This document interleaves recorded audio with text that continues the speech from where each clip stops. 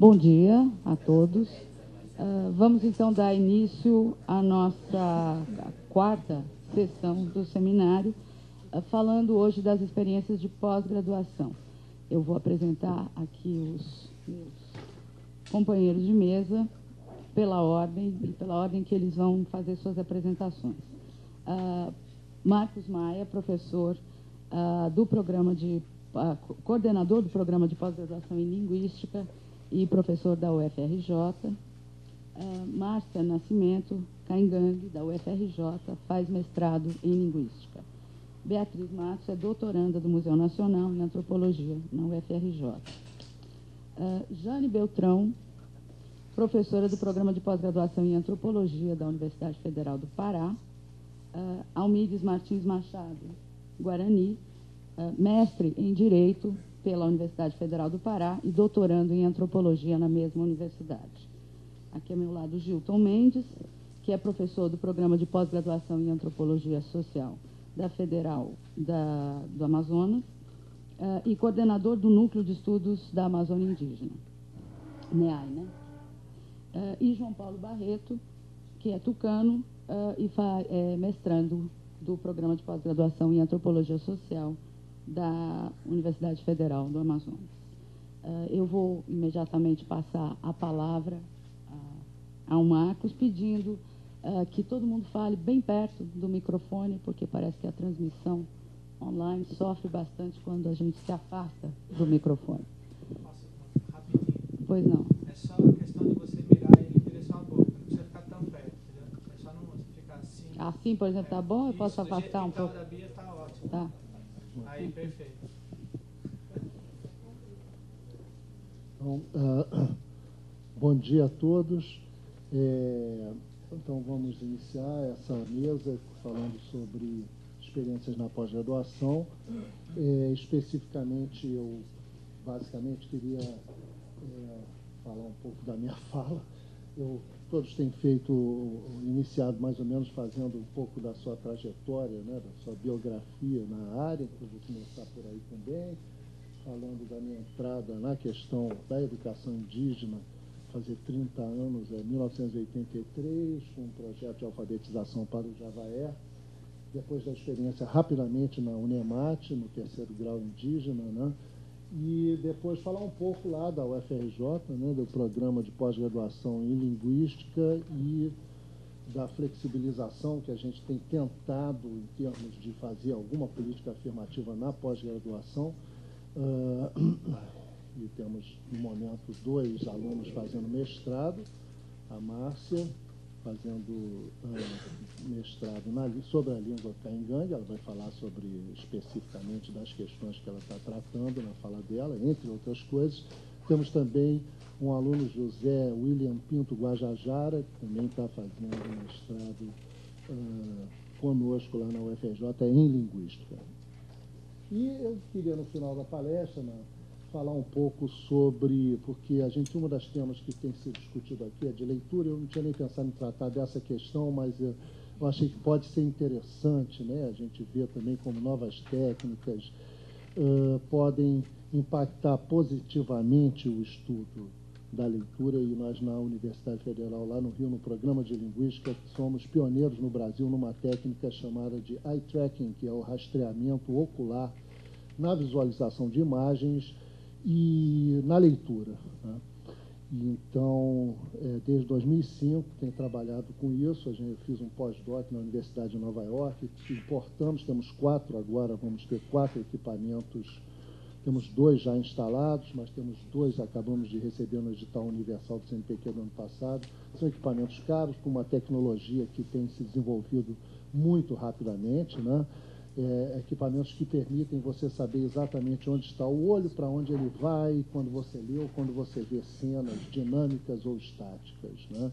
O que nos traz a questão do estudo não apenas dos produtos, mas dos processos que é uma operação importante é, que dá origem às ciências cognitivas. Né? Então, a linguística não apenas como uma ciência social, mas também como uma ciência cognitiva, é um movimento importante nas ciências, é, desde a segunda metade do século XX, né, na chamada revolução cognitivista nas ciências humanas, né, e que nós estamos tentando também desenvolver no Brasil e tentando também relacionar ao estudo uh, de, das línguas indígenas, que poderá vir impactar também aspectos mais aplicados, como a educação indígena. Então, gostaria de dar pelo menos uma notícia breve desse tipo de trabalho que a gente tem desenvolvido lá na UFRJ no programa de pós-graduação.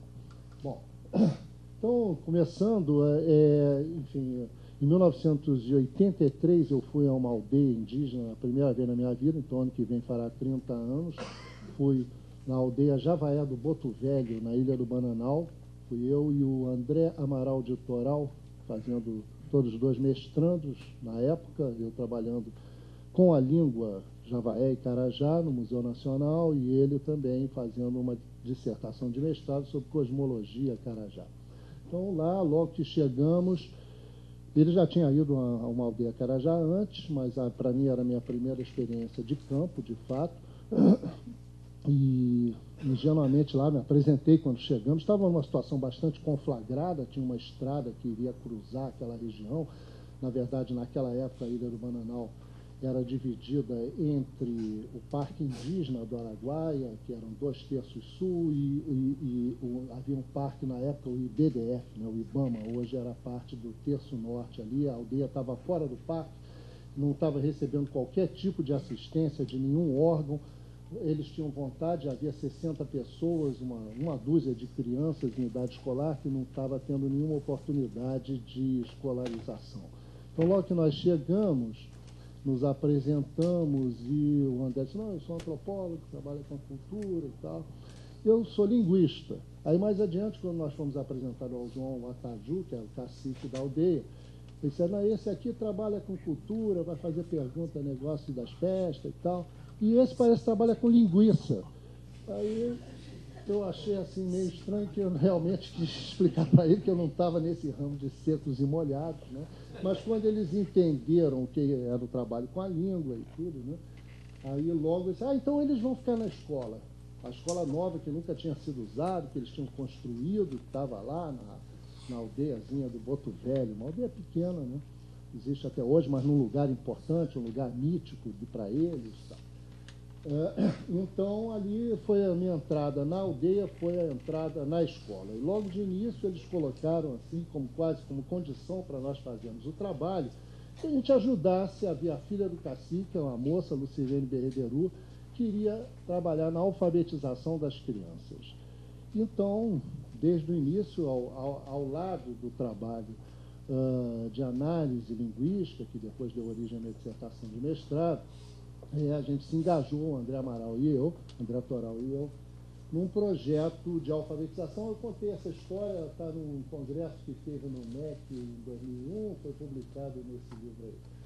E nós fizemos uma adaptação do método Paulo Freire, com base numa experiência no Mapuche, com palavras geradoras, e depois trouxemos, conseguimos apoio da Oxfam né, para desenvolver esse projeto, para trazer a professora, viemos desenvolvemos os cartõezinhos, fizemos um, um, manual de alfabetização bilíngue e, de fato, houve sucesso na alfabetização. Depois, mais tarde, eh, quando eu defendi o doutorado, o mestrado, eu fui trabalhar no Museu do Índio da FUNAI e aí eu tivemos a oportunidade de publicar esse material de alfabetização, que foi usado durante muito tempo, que é o material do Summer, o, o, os Carajá, que é a língua que eu tenho trabalhado, Carajá, Javaé, eles foram objeto do PEBA, que é o Projeto de Educação Bilingue Bicultural do Araguaia, que se desenvolveu um dos primeiros projetos do Summer Institute of Linguistics no Brasil, mas já tinham traduzido lá o, o, o Novo Testamento, então estava encerrado esse programa. Né?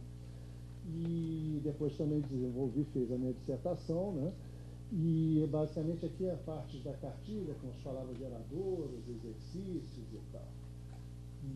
A professora foi treinada, depois até ela me conta nessa carta aqui, um documentando esse projeto, né?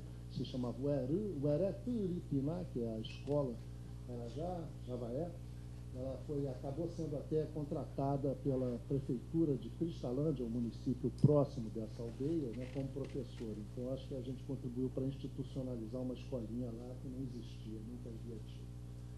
Depois, eu continuei trabalhando durante vários anos junto com a Maria do Socorro Pimentel, que hoje coordena a licenciatura indígena na Universidade Federal de Goiás, em projetos que ela vinha desenvolvendo uh, de revitalização linguística e cultural nas aldeias. O Carajá tem cerca de 20 aldeias, as duas aldeias mais.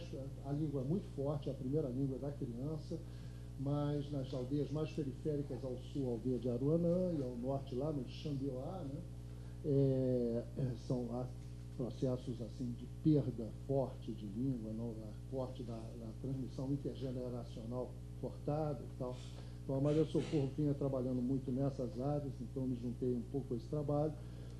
E depois, em 2000, eu entrei também na equipe do terceiro grau indígena. Não vou falar muito sobre o projeto do terceiro grau, a, da Unemat, né? Eles não mandaram ninguém, né? Ninguém, ninguém, Você falou com Elias? Então, enfim, de qualquer maneira, esse projeto na área de línguas, como já relatado pela Bruna, a gente tinha muita expectativa e tentamos desenvolver um projeto com bastante fôlego e de fato ele se manteve na primeira turma, um pouco na segunda.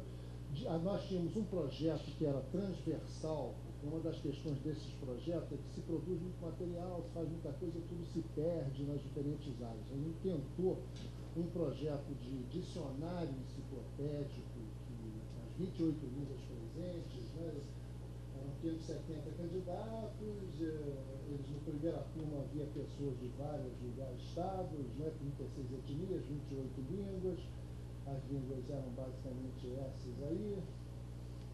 E nós tínhamos o projeto de dicionarização, que em várias disciplinas, ao longo dos vários anos, das várias etapas do projeto, construíam-se verbetes enriquecidos, aproveitavam-se desenhos dos alunos, dos professores que estavam lá presentes nas escolas, ou os próprios professores faziam, e aí gravamos o, as palavras, um vocabulário básico de 200 itens né, nas 28 línguas, e o projeto permitia que se integrasse vários tipos de informação. Aqui algumas imagens da, lá do terceiro grau, e aula inaugural, no ano 2005. Saiu esse livro, como a Bruna já mencionou, né, que mais ou menos relata a opção que nós fizemos por trabalhar com linguística descritiva e formal, hardcore linguistics, linguística pesada, não apenas o uso da língua, mas a natureza das línguas. Tá? E, e, aí uma classificação das várias línguas está presente no livro, das principais famílias no Brasil. O projeto Dicionário pegava essas 28 línguas e tentava organizar um encontro. Então, tinham informações de natureza social, de natureza biológica, quando eram plantas e várias indexações linguísticas, a categoria gramatical, então tinha que pensar sobre a categoria gramatical, a pronúncia, a transcrição fonética. A Márcia foi submetida a esse processo, participou desse processo. Né? A nossa frustração é que está pronto e não foi publicado ainda sempre cobrando lá, coordenação e tal. E onde quer que eu vá, nós somos. E os verbetes, professor? É, porque houve realmente uma mobilização em torno de quatro anos de construir esse dicionário enciclopédico comparativo em, em termos de um vocabulário básico de 200 itens né, para essas 28 línguas. Fato, não, não chegou a bom termo, embora esteja pronto. Está pronto. Então, ainda é possível que ainda venha a aparecer mas foi um projeto geral. Bom, aqui é, o objeto da mesa é a pós-graduação, então a pós-graduação na UFRJ é, na verdade, o programa de pós-graduação em linguística da UFRJ é o mais antigo do Brasil. Ele nasceu por causa das línguas indígenas, na verdade. Nasceu em torno das línguas indígenas. E, na verdade, a pequena flexibilização que nós obtivemos, o professor aqui mencionou no primeiro dia, mas de fato a UFRJ é difícil nesse sentido de ações afirmativas, e, mas a gente tem conseguido algum avanço de alguma forma. Né? No âmbito do programa de pós-graduação linguística, a gente com bastante dificuldade, conseguiu demonstrar aos colegas que um programa que nasceu no Brasil, o primeiro programa de pós-graduação linguística no Brasil, nascido no final da década de 50, trazido pelo Matoso Câmara Júnior, que é um linguista brasileiro estruturalista importante, o professor Luiz de Castro Farias, do Museu Nacional, e o Darcy Ribeiro, né, com a venda do Summer Institute of Linguistics do Brasil. Depois, quando o Museu Nacional se deu conta de que, de fato, o Summer era mais missionário do que linguista, eles romperam o acordo, mas aí o, o já estava no Brasil e continuou ligado à FUNAI, e aí está. Né? Então, mas ali foi o embrião do programa de pós-graduação, que depois saiu do Museu Nacional e foi levado pelo Eduardo Portela para a Faculdade de Letras, na matéria de braço com o professor Adriano Rodrigues, que depois foi para o Unicamp depois foi para hoje. Então, esse programa ele foi fundado em torno das línguas indígenas e esse foi o argumento que permitiu, a, aqui está o programa, ele tem uma linha importante de ciência cognitiva, linguagem mente-cérebro, que dialoga com as demais línguas, de variação e mudança linguística, tecnologia e inovação linguística, modelos funcionais baseados no uso, gramática na teoria gerativa e estudo das línguas indígenas. E esses são os professores do programa filiados, além de estarem possivelmente também em outras linhas, na linha de línguas indígenas. Bruna, a Cristina Estega, a Márcia Vieira, eu, a Carlota, a Maria Facó e a Tânia Clemente. São dessa linha aí. E ganhamos no voto uma modificação no regulamento. Né? Bom, o programa tem 49 alunos de mestrado, 41 de doutorado, temos um DINTER uh, no Maranhão, tem cerca de 100 alunos, entre esses 100 temos dois alunos indígenas trabalhando com suas línguas, como já disse a Márcia, trabalhando com Caingangue, e o José Guajajara, trabalhando com Guajajara, orientação da professora Marília Fator. É, bom, o programa tem se destacado, tem vários textos importantes na linguística no Brasil, na produção e tal. É, alguns dados do seu programa, vou passar rapidamente, porque agora que eu quero chamar a atenção ao regulamento do programa, que então foi modificado com dificuldade, porque como na linguística no, quase não se traduz mais no Brasil, né, linguística pelo menos, então 99% dos textos que precisam ser estudados são em inglês. Então, é parte do regulamento do programa que os alunos têm que passar e tirar sete numa prova de compreensão leitora em inglês como pré-requisito para entrar. Além da avaliação de um projeto, eles têm que demonstrar que conseguem ler um texto de linguística em inglês, né? respondendo em português. Mas isso é, um, é impeditivo totalmente, até porque nós temos lá na Faculdade de Letras cursos de língua instrumental que a pessoa se sentar e fizer consegue ajudar e desenvolver a capacidade de leitura em inglês. Não precisa falar, mas ler e entender o texto. Né? Então nós conseguimos essa modificação aqui que diz que os candidatos de. Quanto tempo? Um minuto? Acabou? Tá bom. então não vou falar nem metade porque eu tinha programado. Tá bom, vou encerrar. É, então, o que a gente conseguiu em termos de flexibilização foi que os, os candidatos de comunidades indígenas, falantes nativos de uma língua indígena brasileira, terão duas oportunidades para comprovar a proficiência da língua inglesa no período de até um ano. Então, ao invés de ter que fazer como pré-requisito aquela prova de inglês, ele tem o um período de fazer como a Márcia vai fazer ainda, né? já tem estudado inglês, já ficou lá esse ano e então esse foi o que a gente conseguiu em termos de flexibilizar para que a gente possa contar com alunos cujas línguas são estudadas e cujas línguas deram origem ao programa e que agora possam ser protagonistas, sujeitos do estudo das suas próprias línguas. Né? Bom, eu ia falar sobre esse tema aqui, mas vai ficar para outra oportunidade, né? que é, de fato, esse trabalho que a gente tem lá numa linha de rastreamento popular da leitura, só dá notícia do que é sem mostrar nada, basicamente. A gente tem trabalhado com, algum, com, com, com a leitura, com falantes de português, monolínguos de português, e também com alguns indígenas. Né? E temos observado uma questão interessante, que é, você sabe que em muitas línguas indígenas, uh, a palavra para letra, né, como no Carajá, por exemplo, a palavra para letra vem dessa palavra aí, tu, pele, turuti, desenho. Turuti. Turiti é, portanto, o desenho que se faz na pele, né? e também é palavra escrita. A palavra para escrita é a mesma de desenho. Isso não é o exclusivo do Carajá, isso já vi, tem dezenas de línguas indígenas que, por extensão semântica, né, utilizam isso.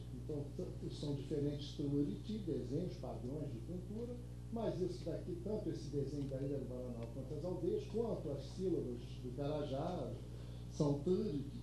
Né? E o fato é que, no, no, estudo de. Bom, eu não vou mais continuar, porque a gente não tem tempo, mas é apenas uma das conclusões que a gente tem chegado fazendo rastreamento ocular. Talvez mostrar um exemplo só de rastreamento ocular para você ter. É, aparelho, por exemplo, como esse, né, que permite ver exatamente onde o seu olho está quando você está lendo. Né? Você captura a pupila ali e onde você está lendo ou vendo qualquer coisa, ele sabe exatamente onde está, para onde volta, para onde vai. Né? Então, por exemplo, numa imagem como essa, vou botar rapidamente, você está olhando essa imagem, né? mas a gente não sabe como você leu essa imagem. Né? Mas se você estiver olhando e tiver um rastreador ocular, está se tornando muito popular, inclusive é uma coisa aí mesmo do grande irmão, talvez, aí, para ver onde você está.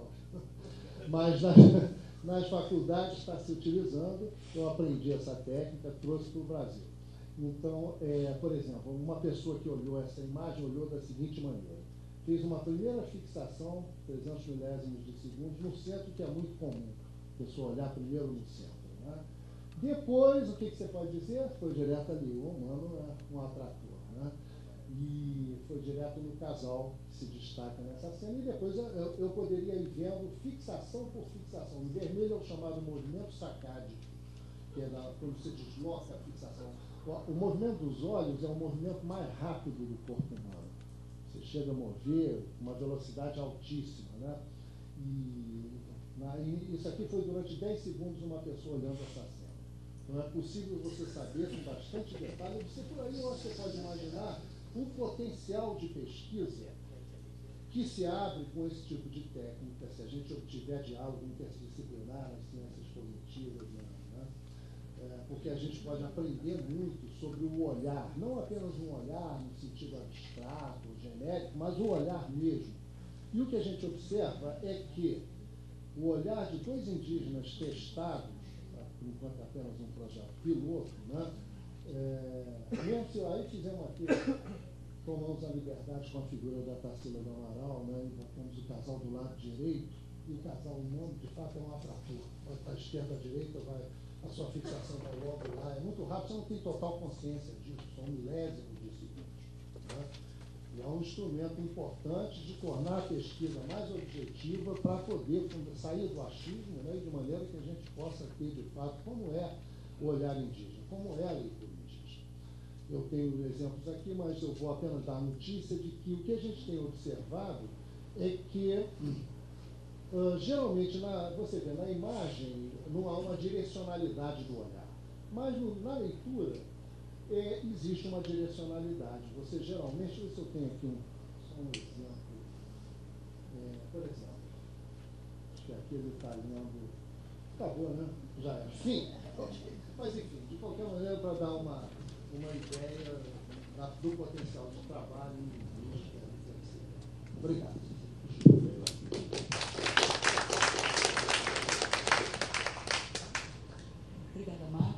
que a gente tem que interromper, mas eu vou passar a palavra então para a Márcia Nascimento. É, bom dia a todos. É, primeiro, queria dizer que eu estou muito feliz de estar aqui pelo convite. E, então, vou começar apresentando, falando um pouquinho assim de, dessa, dizer, essa trajetória escolar, essa trajetória acadêmica, para depois entrar mais no assunto da, da questão da, da experiência da pós-graduação. É, eu sou caingane, né? Eu, eu vivi, eu nasci, eu cresci dentro de uma aldeia indígena e só saí de lá é, para vir para o Rio é, no, ano, no ano de 2010, ano atrasado. Né? Eu sou falante nativa da língua, é, português como segunda língua. Né? Um, e assim, toda a minha trajetória, assim, é, de dentro dessa questão de educação escolar, já começa lá. São questões que já foram contadas aqui e tal. É, eu, eu estudei até a quarta série, né? Séries iniciais do ensino fundamental dentro da aldeia, na escola indígena. Né? E depois disso eu fui para uma escola fora, uma escola é, não indígena, né? Que é, fora da aldeia. Não era na cidade, mas era fora da aldeia, né? Onde a maioria era é, não indígena. Quer dizer, o primeiro impacto você sente lá, isso é, isso é comum, primeiro impacto já é nessa saída de, de escola indígena para escola de, de branco, né? Escola não indígena, no caso. Então, isso já começa lá, a gente já começa a levar pancadas desde lá, né, como, estudante indígena. Assim. Então, é, uma das coisas, uma das maiores dificuldades é exatamente a questão da língua, a questão do ensino em si, né? É, eu, eu, não diria assim, a, qualidade do ensino, né? mas essa questão de você ter que trabalhar dentro de uma escola indígena, é, as duas línguas, todos os conhecimentos, todas as áreas né, de conhecimentos, todos é, os currículos né, que são impostos, né, que a gente tenta é, é, adaptar para a nossa realidade, mas que é com muita dificuldade, né, você, você, tem, você tem quatro anos né, para estar tá saindo é, da escola lendo em português e não cangando, no caso, na língua indígena. Né? Isso é muito difícil, porque é, o tempo é o mesmo, quer dizer, é, dentro de um espaço de tempo você tem que fazer essas duas coisas, enquanto que na escola não indígena, é, assim falando em, é, resumindo isso, é, você, o, o, aluno indígena já tem um atraso, como dizem, né, de dois anos, enquanto que o aluno não indígena começou alfabetização no português, aí, além de ele ser falante nativo né, do português. Então, isso para o aluno indígena já é muito, assim, já, já faz uma diferença enorme. Assim, é, que para nós não é considerado atraso, né? É, porque tem toda essa questão da valorização da língua, etc. E tal, né? Para nós é, é muito mais interessante a criança sair falando ou uh, alfabetizada na língua indígena, né? mesmo com essa, essas implicações né, que, que a gente vê, mas para nós é o que mais, sabe, o que tem assim, o maior valor mesmo. Então, saindo da escola indígena, depois é, indo para essa escola do interior, né, não indígena, ensino médio também eu concluí na escola não indígena, né, que era na cidade. Então, lá Assim, a gente passa, como indígena, acho que a gente passa assim, a vida inteira tentando sensibilizar né, pessoas, é, tanto no espaço escolar como fora também, porque os conflitos são muitos, né, são locais onde é, acaba sendo pior essa questão da, da relação, né, essa questão do preconceito dentro é, das escolas assim, mais próximas mas é, consegui, a gente conseguiu ultrapassar essas barreiras, né? E cheguei na universidade, que antes disso, um pouquinho antes disso, eu me tornei professora quando eu estava concluindo o ensino médio, terceiro ano de ensino médio, né? Quer dizer, é, com essa formação básica eu já era professora. É, foi uma coisa assim, eu me tornei, as coisas foram acontecendo. Eu pensava em ser professora, mas depois de ter feito um curso, depois de estar assim, basicamente preparada para estar tá assumindo uma, uma turma, né? Só que eu entrei, é, a gente foi praticamente assim, recrutado para isso, né? Abriu é, é, os contratos emergenciais, a gente teve que se inscrever, sabe? Quem tinha maior assim, nível de, de escolaridade, escolarização, ela era um recrutado canal, tá? Mas, assim, você entra perdido numa sala de aula, né? Eu não tinha, pelo menos eu estava assim, eu não tinha ideia de, de educação, dessa questão da educação escolar indígena, etc e tal. É, e você está lá tendo que assumir isso. Mas eu tive a sorte de no ano seguinte, entrar para uma universidade, entrar, começar minha graduação. Né? Eu, sou, eu tenho graduação, licenciatura em Línguas, Artes e Literatura, como a Adão dizendo, pela UNEMAT, terceiro grau indígena. É, já foi colocado aqui também todas as deficiências e tal e tal, sabe? Mas mesmo assim, eu, eu, eu me sinto muito feliz assim, de ter participado daquele curso, de ter sido aluna daquele curso. É, foi uma experiência assim, muito importante para mim. É, não só pela formação acadêmica, né, mas poder estar convivendo com aquelas diferenças, aqueles vários povos que estavam lá, né, eram quase 30 povos indígenas diferentes, né, línguas diferentes e e uma das coisas que, é, que foi além assim, da, da experiência acadêmica para mim foi esse encontro de culturas mesmo dentro, é, dentro é, da questão dos povos indígenas. Né? O preconceito que existia assim, dentro dessa questão, dentro mesmo é, das etnias, né? A, a, diferença que a gente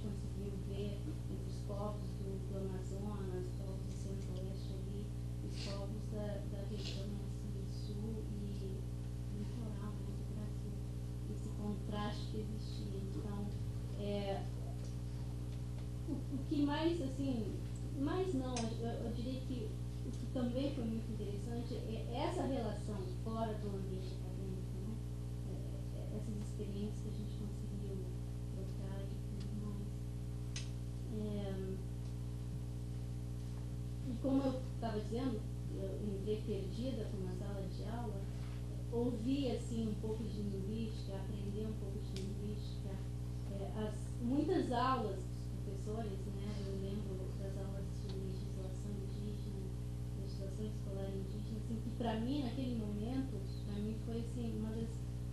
coisas mais importantes, né? Você é, era tudo que eu precisava.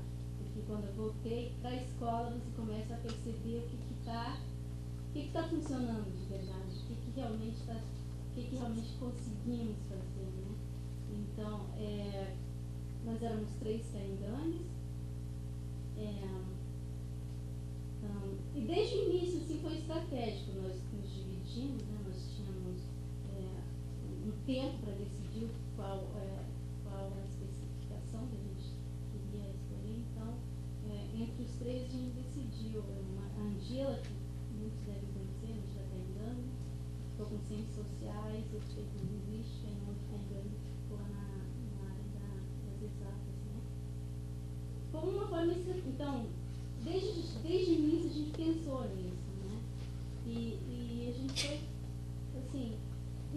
Foi interessante ainda, nesse, enquanto eu estava cursando o terceiro grau indígena, é que no ano de 2002 a gente começou a discutir uh, nos cursos de formação de professores, uh, projeto pedagógico das escolas indígenas do Sul. Né? Pela primeira vez no Rio Grande do Sul se discutia isso. Então, assim, para nós três, pra, uh, aliás, para nós duas, que o outro colega de Santa Catarina, foi uma festa, assim, a gente poder dizer, ah, eu quero uma escola desse tipo, eu, sabe, você planejar uma escola, uma educação uh, diferenciada, com todas essas diferenciada, etc. E tal, né?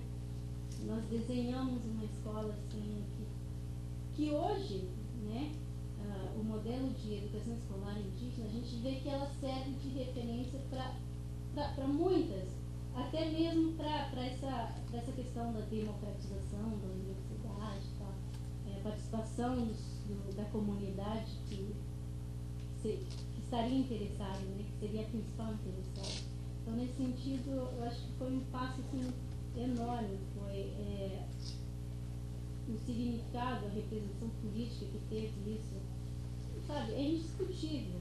É, tanto é que é, eu, eu queria voltar um pouquinho na sessão de ontem, quando eu falava de, de dessas coisas, sabe, algumas colocações que talvez eu tenha colocado de modo errado, ou algumas pessoas entenderam pelo lado negativo, mas assim, é, eu pensei nisso é, é, nesse contexto de educação que eu pensei, que eu, que eu, é, que eu, que eu ajudei a, a, a, construir, né?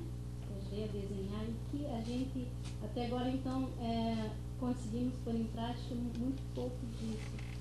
Né?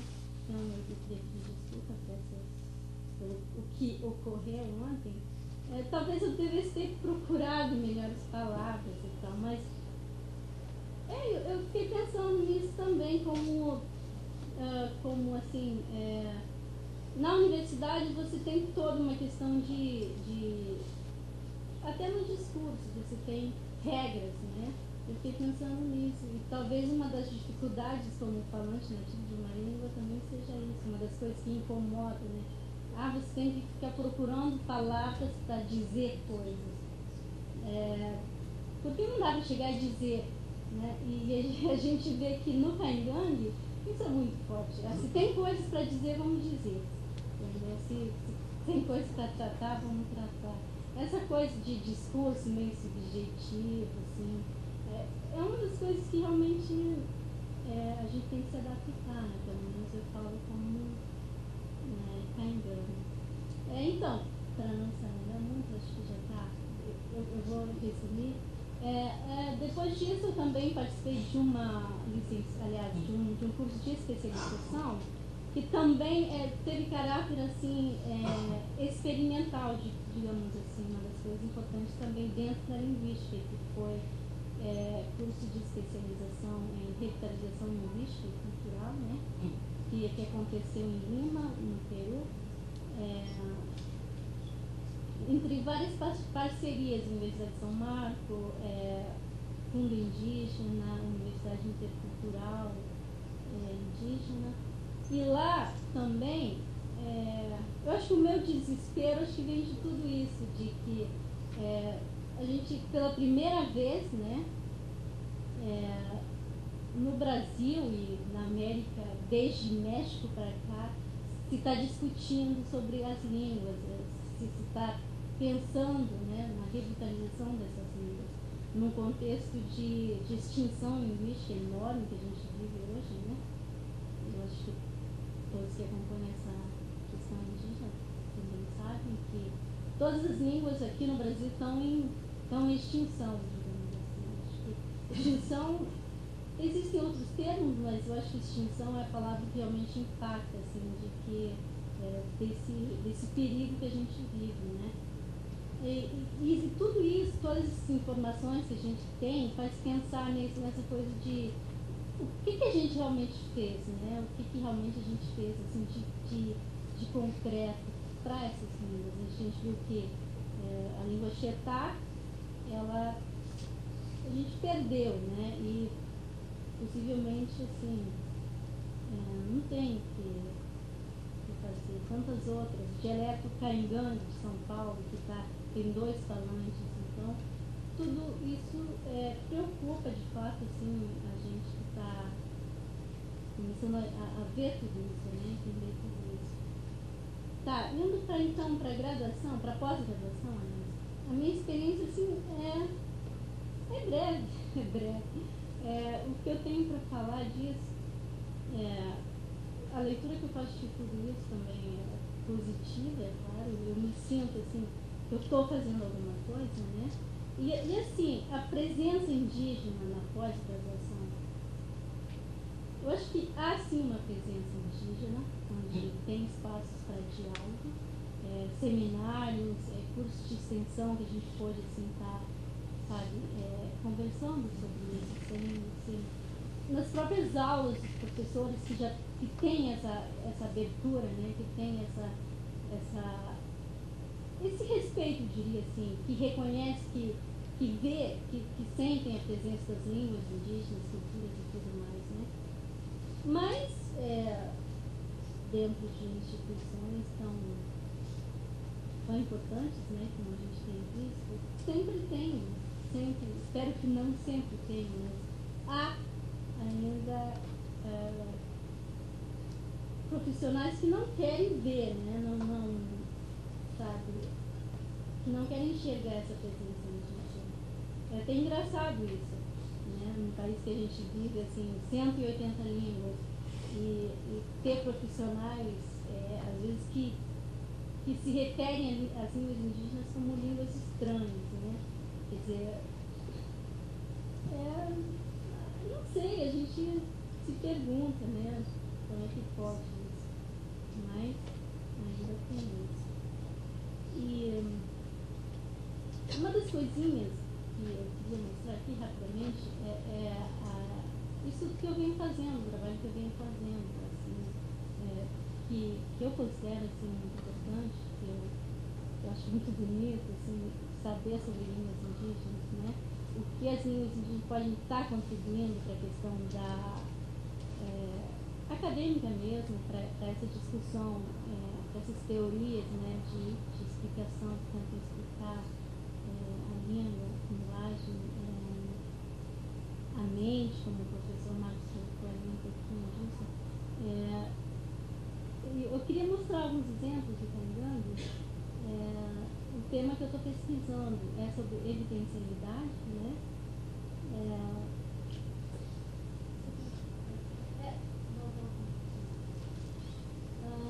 que, só para a gente ter uma ideia de, tá, do, do, do que, que, seria é, a evidencialidade, então ela codifica né, a fonte da informação é, do falante, né, é, no sentido assim, é, você tem várias maneiras de você dizer uma coisa, de, de você falar sobre um fato, né?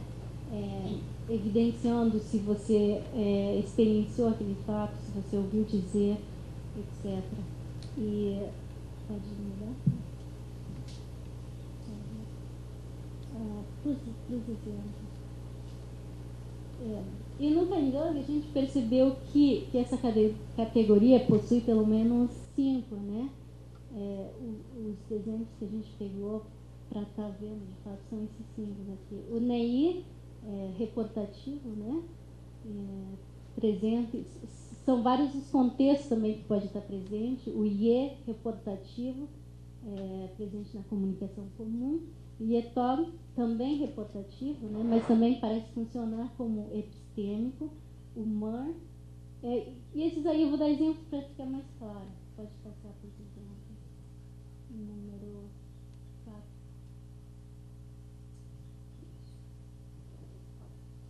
Bom, é, ah, funcionaria mais ou menos assim, nesse exemplo.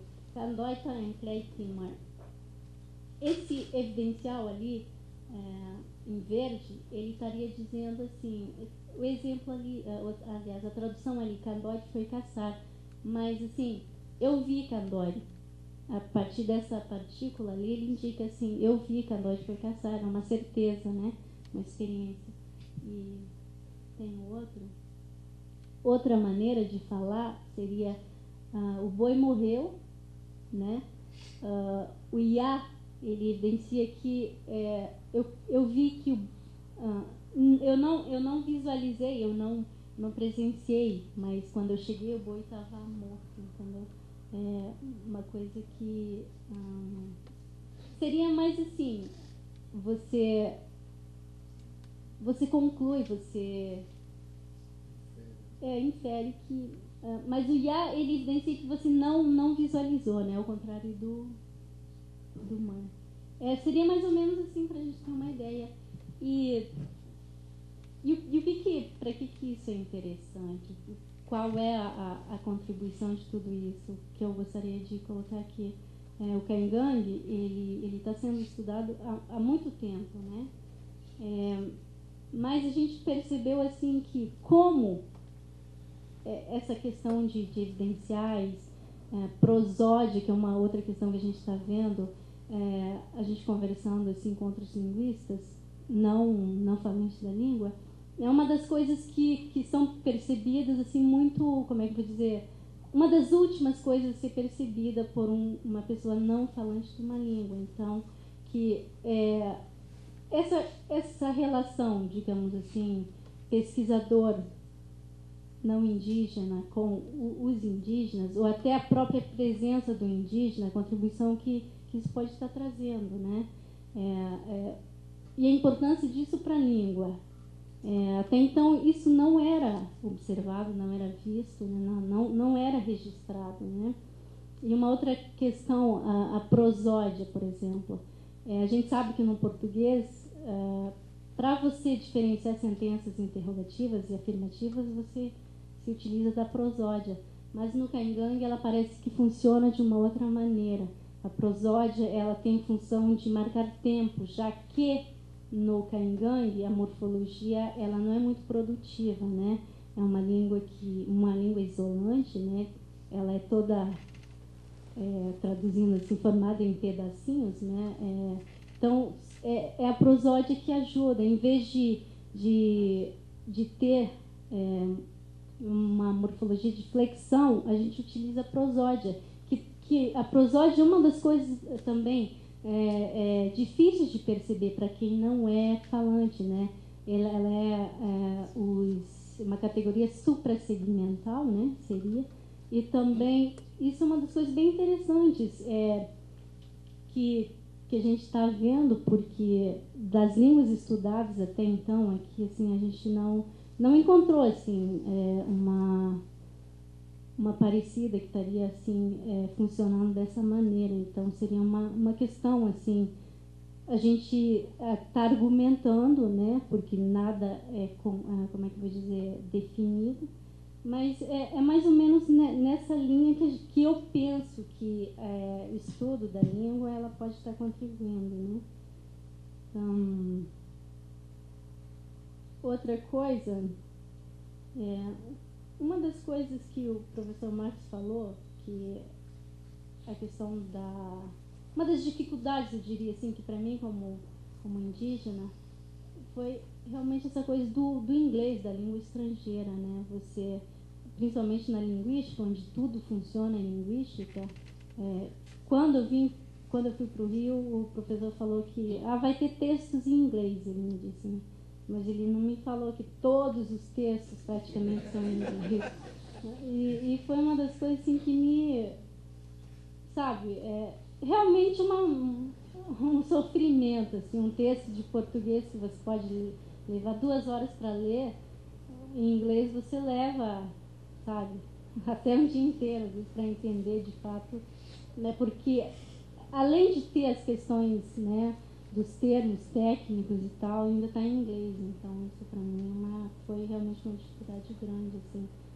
E, e todas as, e assim, voltando à questão da contribuição, uma das questões que para mim é muito interessante, que me preocupa muito, é esse retorno né, para a comunidade. É, de que maneira a gente pode estar retornando tudo isso, né? É, pelas, pela, pela experiência que eu tenho, pelo conhecimento que eu tenho assim, de alunos indígenas que saem da, da, da, da, da aldeia para estudar, eu acho que assim, eu, eu, eu posso dizer que assim, é a grande maioria que tem esse desejo de voltar, né? Não voltar assim em, como é que eu vou dizer, não voltar fisicamente, mas ter algum retorno para a comunidade, né? E a gente está vendo aqui também a questão da... É, não existe um mercado de trabalho, assim, esperando pelos indígenas na comunidade. É, a única coisa que tem é, é na educação, talvez na linguística, é, me, medicina, né? É, e e olhando para tudo isso, assim, me preocupa, porque às vezes, assim, é, já tem né, um corpo, desculpe, um corpo, uh, como é que vou dizer, docente, talvez, uh, gente formada em todas as áreas, como no Caingangue, uh, o povo Caingangue tem muito já indígena formado nas diversas áreas, mas o que eu noto é essa, esse isolamento, né? como estudante, como pesquisador, a gente não está tendo essa, esse diálogo. Seria mais uma questão interna do que talvez, é, da, sei lá, da, da universidade. Eu acho que é uma questão mais interna, né, de você se organizando para tentar pensar em estratégias de, de como realmente você, você, você pode estar é, contribuindo de fato. Né? A gente viu que tem muitas questões aí é, em relação é, ao meio ambiente e tal. Como eu falei ontem, tem, tem muita coisa acontecendo e a gente parece que não está se ligando. Eu falo a gente assim na condição de indígena, né? Lá na aldeia. Você se forma, volta para lá, cada um para o seu canto, é, as coisas vão vindo, né? Muito lentamente. Isso que me preocupa. É, às vezes tem até assim portas, né? Que, que, que você poderia estar tá, é, tentando como por exemplo é, na, é, esse projeto da FUNAI agora, PNGAT. A gente tem assim formados, né, pessoas formadas em gestão ambiental, territorial, etc. E tal, mas que, que não está assim, é, sabe, não, não tem uma participação dentro dessas políticas assim. E é, mesmo na política linguística, com todo esse, esse perigo de extinção, a gente hoje no Brasil não tem assim, uma política linguística séria acompanhando. A escola, no meu ponto de vista, ela não está conseguindo exercer essa função, né, que seria é, fundamental né, para a questão da cultura, para a questão da língua. Então, é, pensando nisso, a gente tem assim, é, pensado, discutido em em, em nos organizar lá dentro como estudantes, né, como pesquisadores, profissionais e tal, porque está mais do que na hora né, da gente estar tá fazendo isso, da gente como indígena estar tá fazendo isso. E não sei que nome a gente vai dar para essa para esse grupo que a gente está criando. E por outro lado, assim, depois que você se desvincula da universidade, por exemplo, na educação que poderia ter é, um grupo de pesquisadores assim que fizesse um trabalho contínuo para tentar resolver, para tentar melhorar a questão da alfabetização, a questão do ensino da língua. A gente não tem esse grupo de pesquisadoras, esse grupo de gente pensando nisso, né?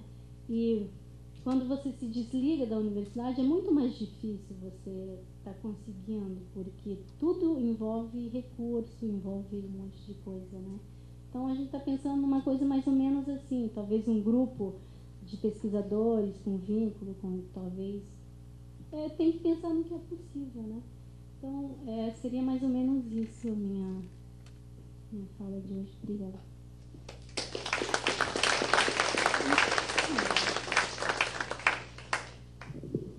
Obrigada, Márcia. Vou passar a palavra então a Beatriz Matos.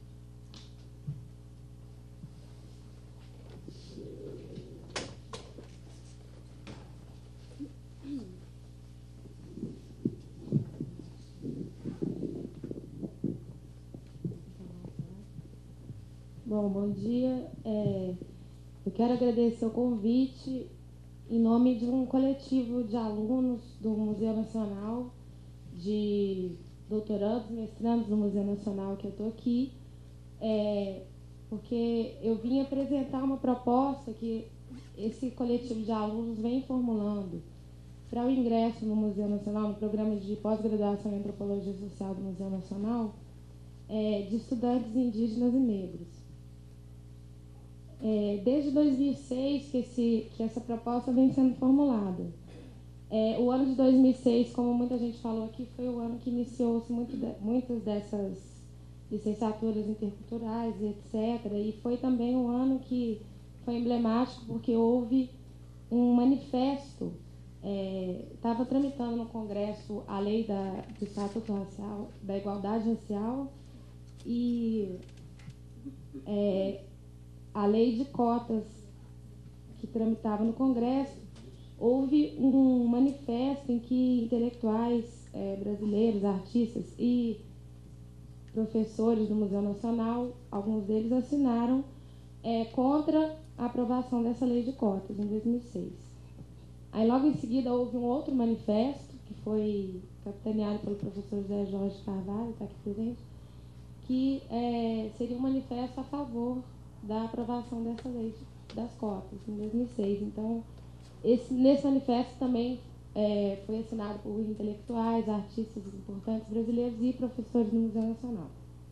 Então, esse tava, é, no, 2006 foi um ano que isso efervesceu lá no, na, no programa né, do Museu de Pós-Graduação em Antropologia do Museu Nacional e foi convidado o professor José Jorge para falar sobre a questão das cotas nas universidades para negros e indígenas. Então, essa palestra também é, desencadeou com que um grupo de alunos procurasse professor é, e começasse a, a, se organizar para fazer o que poderia ser feito, porque é, na ocasião da palestra, eu não estava lá, eu entrei no Museu Nacional em 2007, no mestrado, mas é, né, é, me contaram né, que na ocasião da palestra o professor José Jorge perguntou, por exemplo, quantos alunos negros foram formados aqui no Museu Nacional? Quantos doutores negros saíram do Museu Nacional, por exemplo? E, e lá, num levantamento informal dos professores que estão lá mais tempo, eles disseram, bom, eu lembro de mais ou menos quatro, sendo que três eram estrangeiros. Ou seja, era um número absurdo, né? Assim, e nenhum indígena na época. Bom, então, é, esse grupo de alunos se reuniu e fez uma primeira proposta, estudou, as, a, estudou a proposta da UNB, que foi aprovada para graduação, estudou a da, da UERJ, de outras universidades que já tinham sido aprovadas a, entrada, a ação afirmativa para a entrada de negros indígenas na graduação, e aí fizemos uma primeira proposta, isso já em 2007. Ela foi apresentada para o conselho, né, para reunião de coordenação, que é o, digamos, o conselho deliberativo do programa, e os professores é, se sentiram assim surpresos, pediram tempo para pensar, porque é, eles gostariam de contribuir, porque foi uma iniciativa dos alunos. E isso alunos dos mais, das mais diversas áreas da antropologia, não só alunos que trabalhavam com, com afro-brasileiros ou com indígenas, né? a sua maioria sim, porque também era uma coisa que vinha dos nossos campos. Né? Por exemplo, a minha, é, minha tese não é sobre ação afirmativa, não é minha, minha área de pesquisa, mas essa demanda vem dos nossos campos, né? vem de pessoas como o Jaime, que estava aqui, ou que está aqui, que, é, que ingressam, que estão pensando na universidade, eles sabendo que a gente, bom, ah, você faz antropologia, eu também quero fazer, como é que é? Você vai estudar nossa cultura, eu também quero estudar, etc. Então, veio essa demanda do, dos nossos campos, vamos dizer assim, não exatamente das nossas pesquisas, do que a gente trabalha né, na pesquisa. Mas é, esse grupo, então, apresentou a proposta para a reunião de coordenação em 2007. Eles pediram esse tempo de discussão, de, de reflexão, e aí a gente começou a reunir em comissões de dois ou três alunos com cada um dos professores. Então, a gente fez, fez uma entrevista com cada um dos professores, cada um dos professores leu a proposta e fez sugestões, fez críticas e levantou muito dessas questões que estão sendo levantadas aqui no caso dos indígenas, né? É, eu iria falar um pouco mais detalhadamente sobre a proposta, mas acho que não é o caso. Só vou dizer que a gente pensou assim: a gente elaborou a proposta antes da, da, da intervenção dos professores, das sugestões dos professores, a gente elaborou uma proposta um pouco mais radical, é, que, que seria, é, primeiro, baseada na reserva de vagas, é, ou seja, seria primeiro baseada em cotas mesmo, mas depois a gente decidiu que o melhor seria criar um adicional de vagas. Então, no caso do Museu Nacional, é, se, por exemplo, houvessem 10 vagas, se os professores decidem, porque isso é decidido em cada comissão de ensino, né, lá. Cada comissão de ensino que, e comissão de seleção que vai fazer como vai, vai ser desenhado o próximo edital do ano que vem. Então, se eles decidissem que seriam 10 vagas para negros, duas deveriam ser reservadas para. Ah, desculpa. Se eles decidissem que dez, seriam 10 vagas no edital, né, 10 vagas para o doutorado, duas deveriam ser reservadas para optantes negros. É, como seria isso? Ele, o optante deveria, no momento da, da, da inscrição, se colocar como optante, aí a opção, que também foi uma discussão muito grande,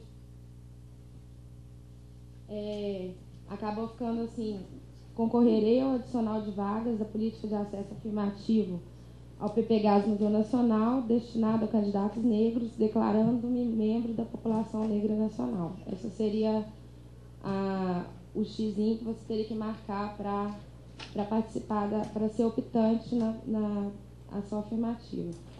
O outro seria não concorrerei ao adicional de vagas da política de acesso afirmativo ao Museu Nacional, PPGAS Museu Nacional. Então, a partir do momento que a pessoa era optante, ela iria fazer as etapas, isso para o caso dos negros.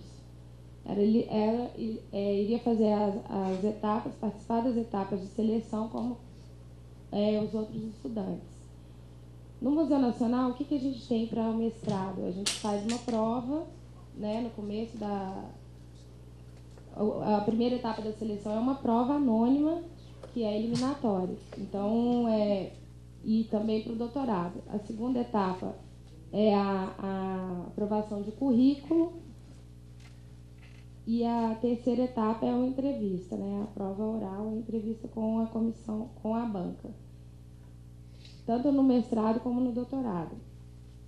Sendo que no doutorado tem a, a, a parte, a segunda etapa, que vem o currículo, também é examinado o projeto de doutorado.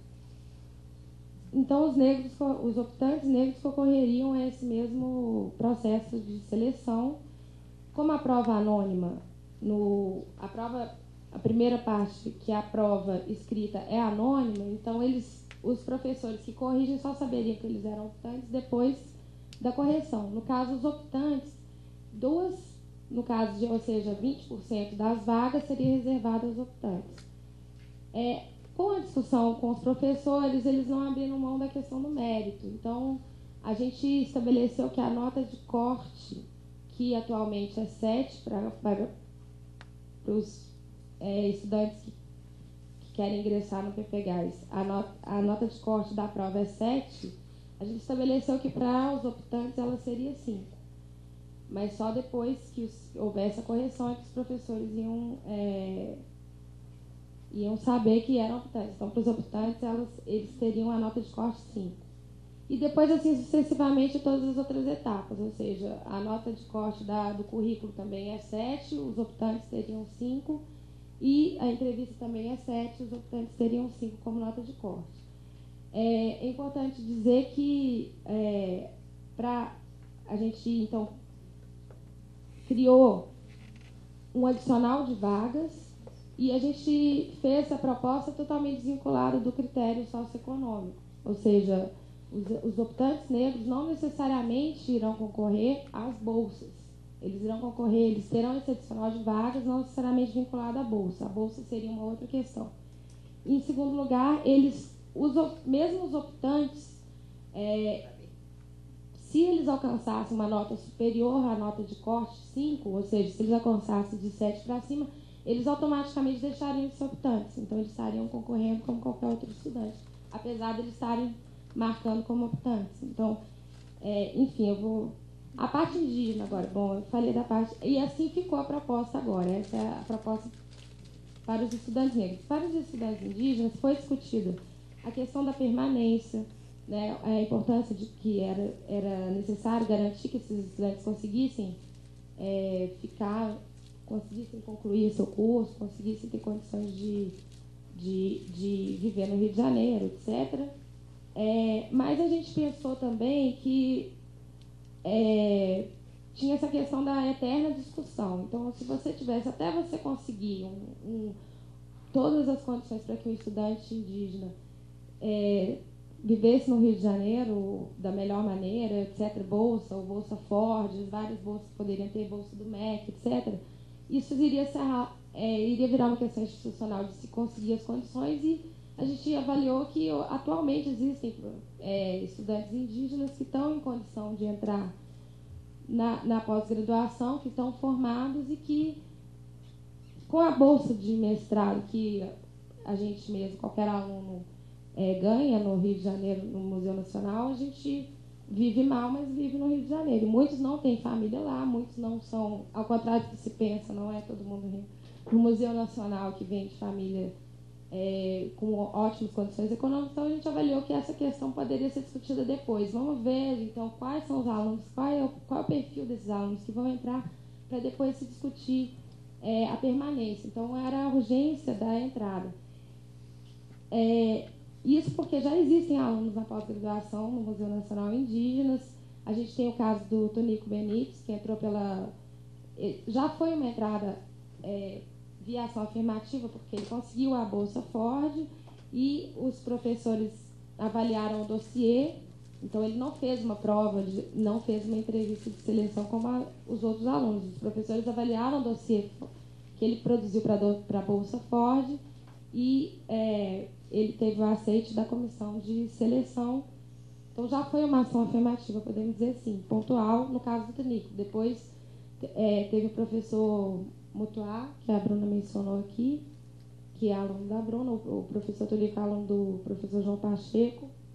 É, e em seguida agora a gente tem um aluno também que é um indígena do México, que também tem a Bolsa Ford e fez essa entrada, vamos dizer, alternativa. Então a proposta para os indígenas seria é, a gente oficializar, vamos dizer assim, e tornar regular essa entrada independente do programa Ford, nos moldes um pouco do PEC-PG, que é que já existe em todas as pós-graduações, que é essa cooperação de é, dos países do eixo sul, em que os estudantes dos países do sul podem entrar na pós-graduação também via uma seleção alternativa, desde que tenha essa bolsa PEC-PG. Então, a ideia era regularizar isso, no caso dos indígenas, independente também da questão de bolsa. Ou seja, os indígenas iriam. Como ficou então a seleção, assim, a, a maneira de ingresso dos indígenas, que é diferente das dos negros. É, eles teriam que apresentar um dossiê. Bom, primeiro, também os professores não abriram mão da questão do mérito, da questão do conhecimento básico em antropologia, etc., para ingressar no, no curso. Então, eles, a gente definiu que seria feito um ensaio.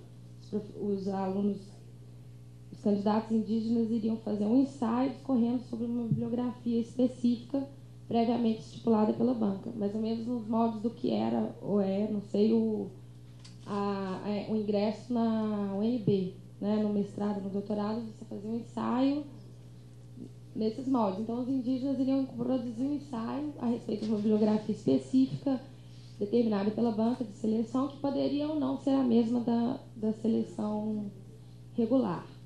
Isso também teria que ser discutido depois. É, outra coisa seria um memorial relatando o histórico de vida e as intenções do estudo no PPGAS, no programa de pós-graduação do Museu Nacional, em Antropologia.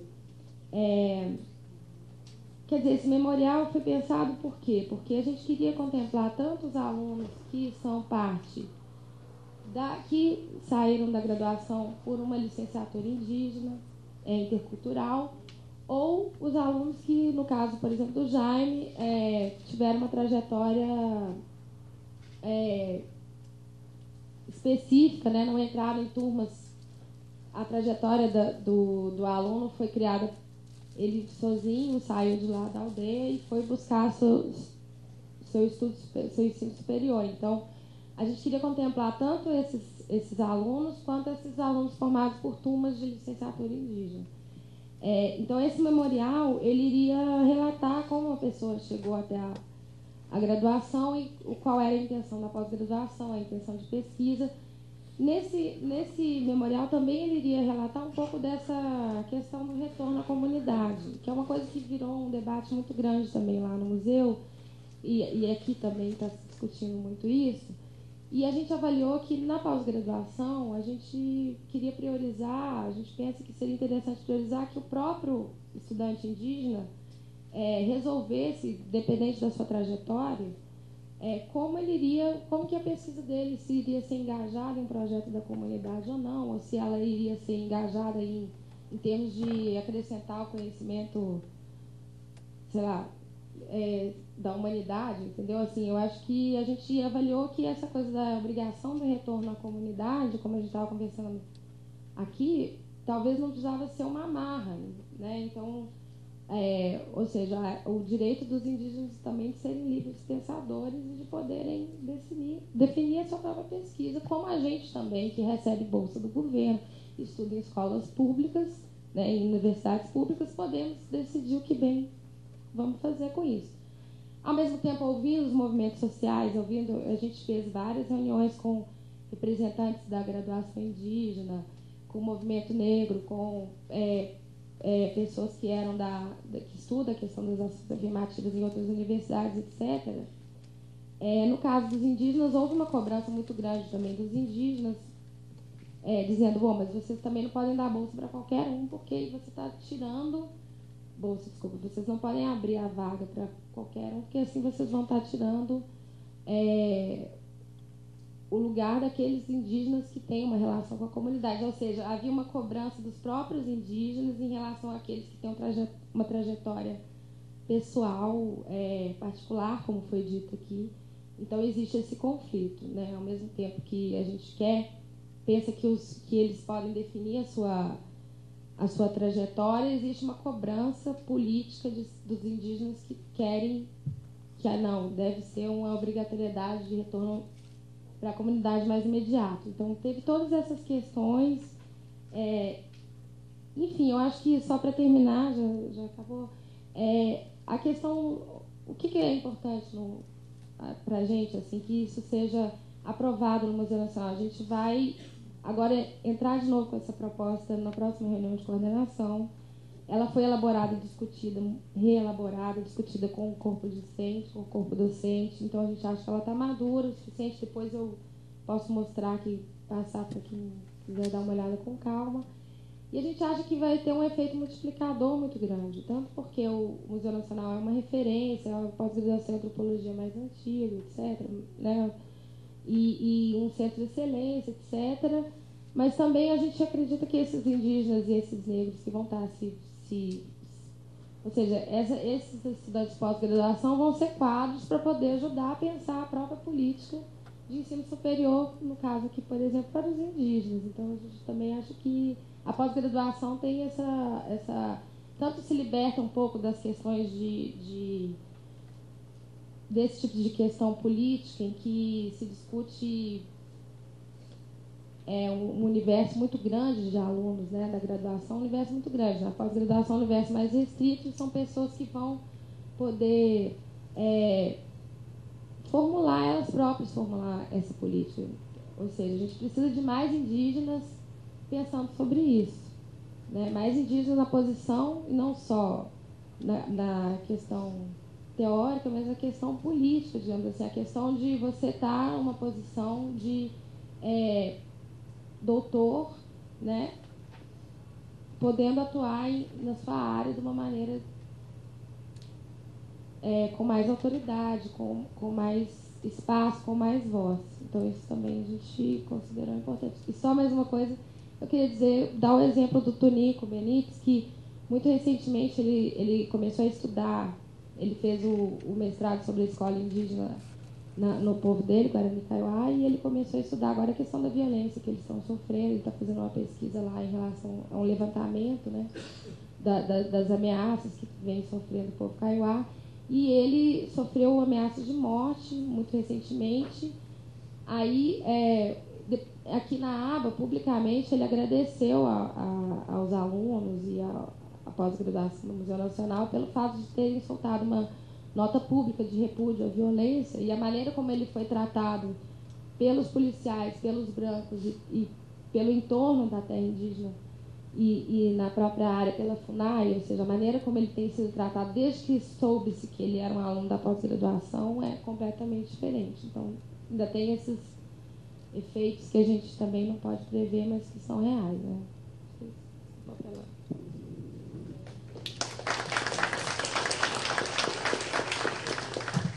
Obrigada, Beatriz. Uh, nós tínhamos pensado em fazer um intervalo, mas eu acho que, dado o adiantado da hora, nós vamos prosseguir. Uh, eu vou passar então a palavra à Jane, que não está, então não está aqui. Está aqui. Jane Beltrão.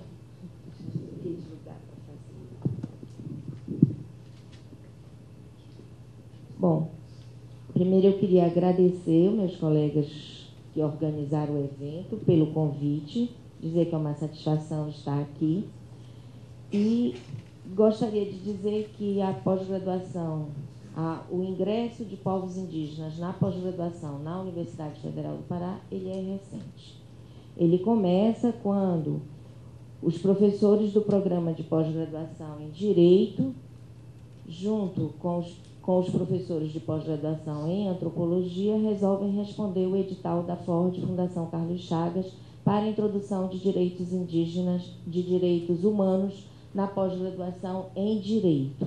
Então, considerando que nós íamos trabalhar com direitos humanos, considerando que éramos todos bacharel em direito, antropólogos, procuradores da República, operadores do direito em geral, era impossível não aceitar a, a proposta de políticas afirmativas. Afinal, nós não nos pensávamos idiotas a ponto de não aceitar a proposta.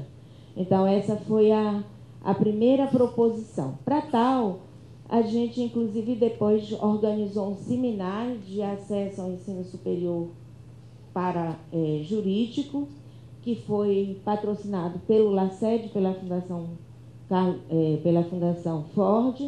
Eu nesse momento, o Antônio Carlos de Souza Lima teve papel fundamental e a rede de saberes também a partir do Antônio Brant, de saudosa memória. Então, essa proposição, inclusive, ela antecede o ingresso dos povos indígenas na, pós, é, na graduação da UFPA. Portanto, e é um universo super restrito, onde eu brincava que provavelmente, tratando de poucas pessoas, poderia ser solicitado que eu devolvesse a passagem as diárias que recebi, já que eu vou falar de tão poucas pessoas. Né? Evidentemente que a gente tem uma proposição trabalhando na área dos direitos humanos, que é a questão de que a gente considera essa diversidade que é necessário considerar essa diferença como legítima. Ela não é para ser tolerada, ela é para ser respeitada e é para ser respe... os, os povos indígenas devem ser respeitados como cidadãos que são, sem que eles precisem deixar de ser membros das suas próprias comunidades. Acho que isso é fundamental em termos do que a gente se propõe. A interculturalidade, para nós, seria uma proposição é, ético-política e ela implica em aperfeiçoar os conceitos de cidadania, o conceito de democracia, tenta corrigir as questões pautadas pela iniquidade. Evidentemente, a gente não pode desconhecer essa convivência e tem que possibilitar a reelaboração complementar desses modelos culturais, certo? precisa de vontade política. Ao precisar de vontade política, os conflitos são grandes. A gente não pode dizer que não existem conflitos, já que a, a questão era a reflexão sobre como isso é feito, então eu preferi apresentar assim e rapidamente depois falar dos números.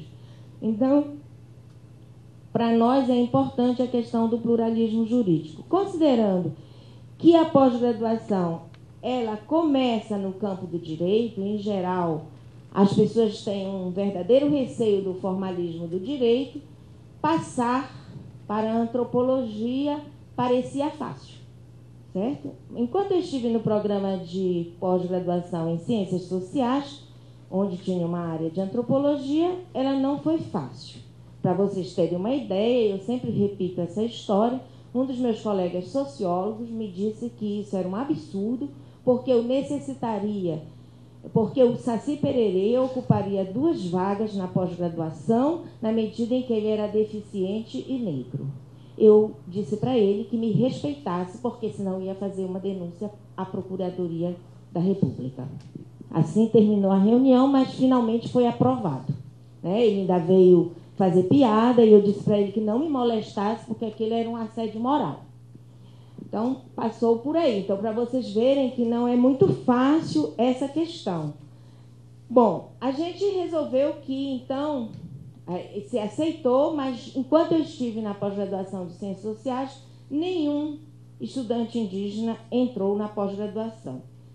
Por, por isso ou por aquilo, não estudei as razões. E em 2010 a gente abriu um curso novo de antropologia que é um curso que pretende trabalhar nos quatro campos da antropologia, a antropologia social, a arqueologia, a bioantropologia, a linguística, retornando a uma tradição que se perdeu no Brasil. Então a gente começa essa possibilidade. Nosso primeiro edital já nasce com duas vagas reservadas para povos indígenas. Essas vagas reservadas, elas são uma no mestrado e outra na pós-graduação. No direito, nós continuamos com duas vagas reservadas e editais diferenciados. Nós não trabalhamos com toda essa filigrana que a Isabel apresentou para nós agora. Nossa questão é muito simples. Os povos indígenas, tanto no direito como na antropologia, eles apresentam uma proposta de pesquisa. Não interessa para nós se é na sua comunidade ou se não é na sua comunidade, porque para os outros estudantes nós não perguntamos isso.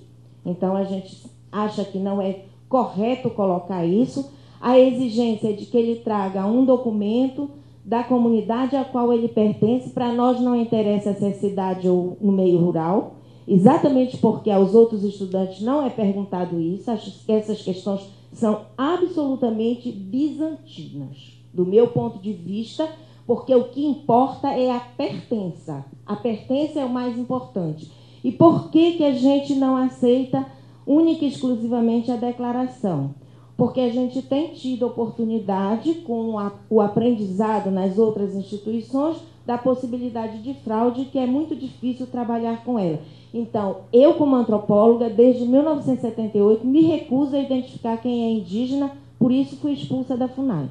Então, eu não ia, na pós-graduação, aceitar isso. Então, o documento tem que ser oferecido por uma liderança tradicional ou por uma liderança política nas aldeias ou na, no, na, no bairro indígena, nas cidades indianizadas, e, ou também pelas organizações políticas do, dos movimentos indígenas. Para nós, isso é o suficiente. Então, nos dois lugares, a abertura é para o Brasil inteiro, porque nós consideramos que seria inconstitucional abrir para o estado do Pará. Isso foi uma discussão enorme com vários dos nossos colegas. Então, como eu disse que o universo é reduzido, nós temos desde 2006 no direito em 2010 na antropologia. Selecionados em 2007 no direito duas pessoas, uma delas está à mesa, que é o Almires. Em 2009 foram três pessoas, das quais nenhuma chegou ao programa, porque tinha terminado a verba da Ford e nós não podíamos pagar a passagem para as pessoas chegarem lá e nem ter bolsa para o estágio de nivelamento que o curso de direito exige. Tem um, um ano de curso que é feito da mesma maneira que os outros estudantes. No final é feita uma avaliação, porque se ele não foi bem nas disciplinas, ele pode cursá-las todas de novo sem nenhum problema em termos regimentais. Para isso, ele tem um tutor e tem uma comissão que o avalia e o ajuda nesse sentido. Então, por exemplo, na, no primeiro ingresso, a Rosane, que era colega do Almires na época, ela é pedagoga, portanto, ela não era bacharel em Direito. E ela teve como um instrutor de, de, de boa qualidade nosso colega Antônio Maués, que é um constitucionalista, que foi ensiná-la como trabalhar com o sistema jurídico, o qual ela não conhecia e que, aliás, uma, vários de nós não conhecem adequadamente. E, eh, como os três não puderam chegar, chamou-se uma outra pessoa que ainda está no programa. Em 2010, no programa de antropologia, nós tivemos uma pessoa selecionada e como na antropologia nós não temos, a não ser as bolsas, que vocês sabem que são numa quantidade enorme para cursos novos, né? Então a gente não tinha bolsas sequer para oferecer para os estudantes indígenas. A pessoa foi selecionada, ela era do Alto Rio Negro, mas ela não pôde chegar a Belém pelas mesmas condições que os demais, no caso do direito. E em 2011, o Almires foi selecionado, ele pode dizer para vocês da experiência. Nós temos formados dois mestres em direito, duas dissertações, uma sobre educação escolar indígena e outra sobre direitos indígenas, que aliás eu faço uma ressalva aqui, porque direito indigenista não é a mesma coisa que direitos indígenas e acho que a gente está usando o do indigenismo para falar de direitos indígenas ou de povos indígenas, o que é um equívoco, né? Até pelo receio que a gente tem de usar essa palavra, pelos anos que a gente trabalhou em alguns lugares e conhece o que isso significa. Um dos estudantes do direito foi jubilado, porque ele tinha um problema grave e esse problema grave é, que era um problema de alcoolismo que ele trazia, que a gente não conseguiu trabalhar com isso, né? E também por plágio, lamentavelmente. Em formação, nós temos três pessoas, duas no direito, uma na antropologia. Nós somos quatro orientadores, sendo que eu me desdobro entre o direito e a antropologia. Quer dizer, até o momento, isso não significa que sejamos só quatro. Há muitas dificuldades e impasses, por exemplo, a, a impossibilidade de ajudas específicas a, para o período que é de nivelamento, no caso do direito, o encerramento do apoio da Fundação Ford, que é só por um tempo, depois a universidade tem que institucionalizar. Eu posso dizer que a universidade não institucionalizou de forma adequada. O tempo de realização de trabalhos, porque, embora eu diga que a gente não exigiu nenhum compromisso com a comunidade, todas as pessoas que entraram agora têm compromisso e fazem trabalho junto aos seus povos ou então aos povos junto aos quais vive, trabalha e mora. Certo? Então, eles têm compromisso com a comunidade de pertença. Embora eu particularmente ache que se a política é afirmativa, não se solicita isso dos negros. Então, por que solicitar dos indígenas? Acho que esse é, os indígenas eles estão sendo tratados sempre como uns coitadinhos que não poderiam estar nesse lugar. E eu acho que é exatamente a possibilidade de tratá-los pela diferença com igualdade. Então, acho que há uma escassa adesão dos demais programas de pós-graduação na UFPA. Como eu sou chamada de a mulher dos índios, não é nem a antropóloga dos índios, é a mulher dos índios, porque isso a gente empresta o preconceito para o nosso campo acadêmico. Né? Então, de vez em quando, os colegas mandam me pedir os documentos. Eu já fui ao fórum de pós-graduação discutir com eles a importância disso. Aliás, eu esqueci de dizer, nós não pedimos prova de língua estrangeira porque nós consideramos português uma língua estrangeira no caso dos povos indígenas. Aí a gente se vira para oferecer a eles a possibilidade de trabalhar dentro da universidade nos cursos de instrumental. Não há implementação, todo mundo que é da Comissão Nacional de Educação Escolar Indígena, Donizete, a Rita, as pessoas que são da comissão, não me deixam mentir. A CAPES e o CNPq foram lá, prometeram mundos e fundos e nunca fizeram a política afirmativa dentro das bolsas de pós-graduação. Estamos esperando até hoje. E o encerramento de bolsas da Fundação Ford e Fundação Carlos Chagas, que aconteceu no ano passado. Né? A, uma das nossas é, orientandas, a Rosane, ela foi bolsista da Fundação Ford, inclusive está indo para Costa Rica se apresentar num evento. Né? Então, acho que ah, tem uma divergência na hora da avaliação, que é a questão da oralidade da escrita. A gente discute muito isso. Particularmente, eu trabalho com a gravação e depois a transformação disso em texto. Eu faço isso desde o PIBIC, então acho que é uma possibilidade.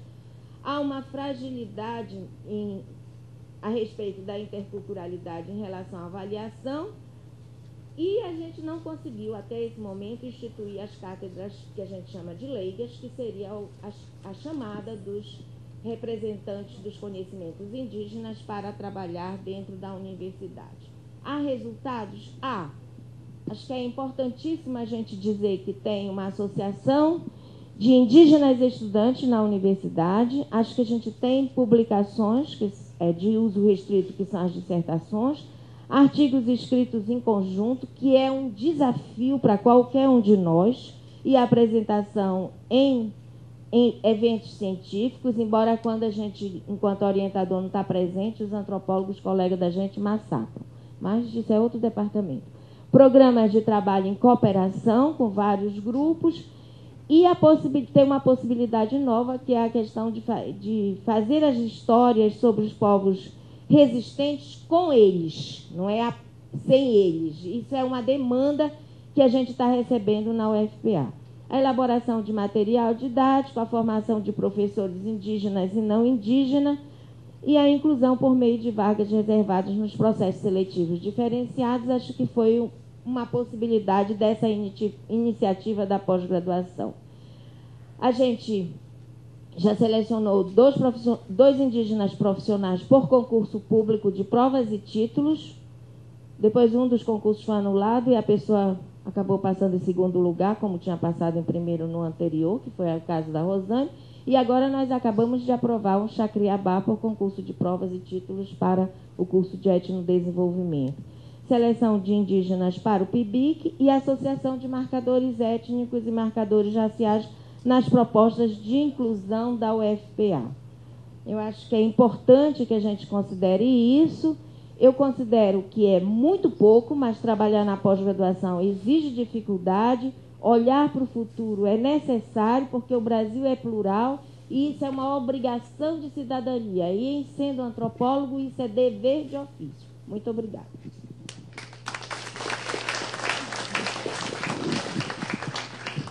Obrigada, Jane. Vou passar então a palavra ao Almires.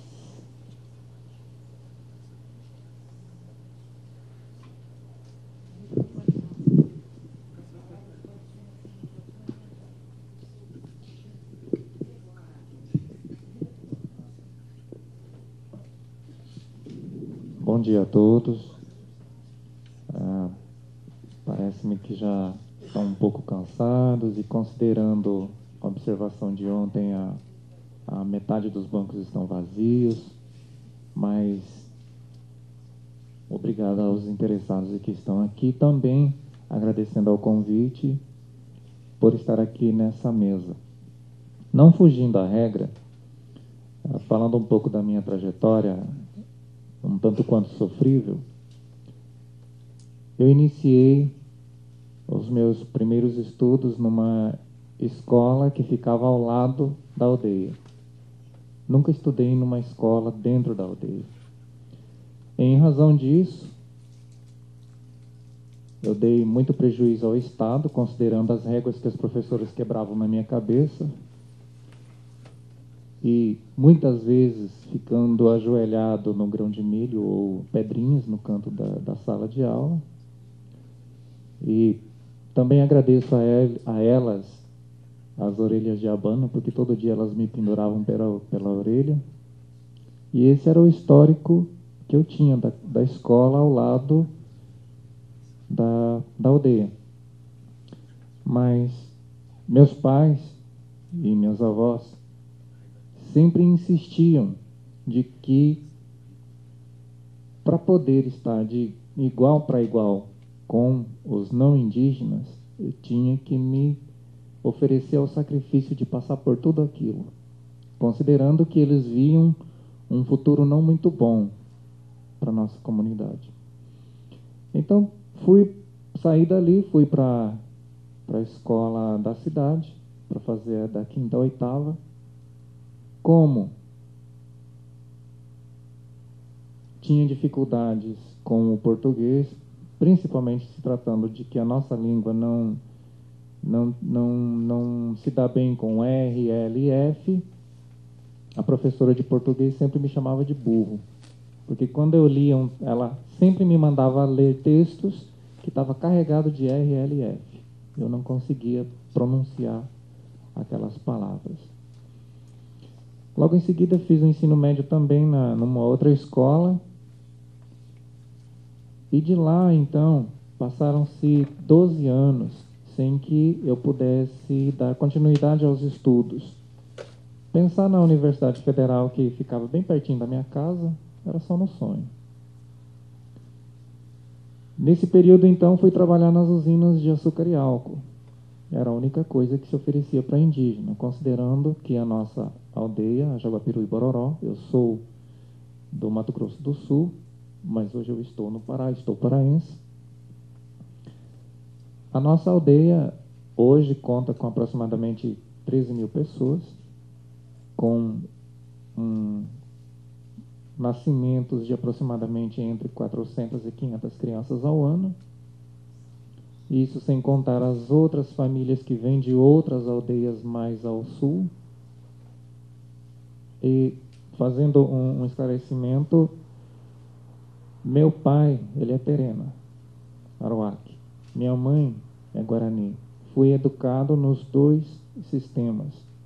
Meus avós guaranis são aquilo que aqui fora é chamado de pajé, que para nós lá é Nhanderu e Nhandesu. E por conta disso, é, há conflitos pelo fato de pertencer a dois povos. Assim como também quando entra na universidade, ele, aqui eu sempre faço referência a Jane, que ela me pegou a laço num, num, num evento em Brasília, quando eu discutia com a procuradora do Ministério Público Federal, que me levou então para o Pará, que lá, por incrível que pareça, a, as ações afirmativas começaram pelo curso mais fechado que existe, que é o direito, e na pós-graduação. Porque na UFGD, onde eu procurei um lugar como ouvinte, eles não fecharam a porta na minha cara, bateram a porta na minha cara. E quando o professor, também fui professor, o primeiro curso de formação para professor que eu participei, que fiquei só três dias, não tinha qualidade nenhuma.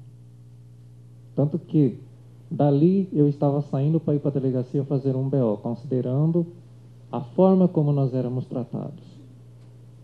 E os outros professores saíram junto. E nós vamos fazer o quê? Considerando que eu poderia fazer aquilo e eles não, teriam que se submeter. Chegando na pós-graduação, fiz o meu projeto, meu pré-projeto, considerando que o professor Maués, que já foi citado, é exigentíssimo. Mas ele gostou muito do, do pré-projeto e fui para lá. Um ambiente que eu não conhecia, um ambiente para mim diferente, e lá chegando, logo na, nas primeiras aulas, fui tratado como qualquer indígena chega numa universidade ou em qualquer outro ambiente. Ah, oh, coitadinho do indinho. Vamos ajudar o indinho. Assim como a Rosane, minha colega. Fiquei só observando. Passadas as aulas, as primeiras aulas, me situei porque eu vinha de uma graduação em Direito e uma especialização em Constitucional, que por alguns motivos eu não pude concluir, mas também na sala de aula, em uma aula de ED, a professora naquele dia não estava num bom dia e resolveu de falar que indígena, nordestino, boliviano tem a tendência de ser burro. Resultado, fechamos a universidade e ela teve que sair da universidade, porque na época as universidades públicas não abriam as portas para indígena. Nós estávamos em uma universidade privada, da qual eu participei da, da elaboração dessa entrada desses universitários indígenas nessa universidade privada, que inicialmente eram para 100 e logo foi para 180 e a FUNAI dava metade da, da mensalidade, a outra metade a universidade complementava.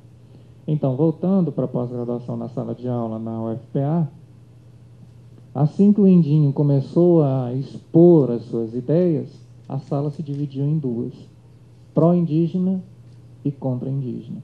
Considerando que os meus colegas de, de mestrado eram promotores, procuradores, juízes e advogados de madeireiro.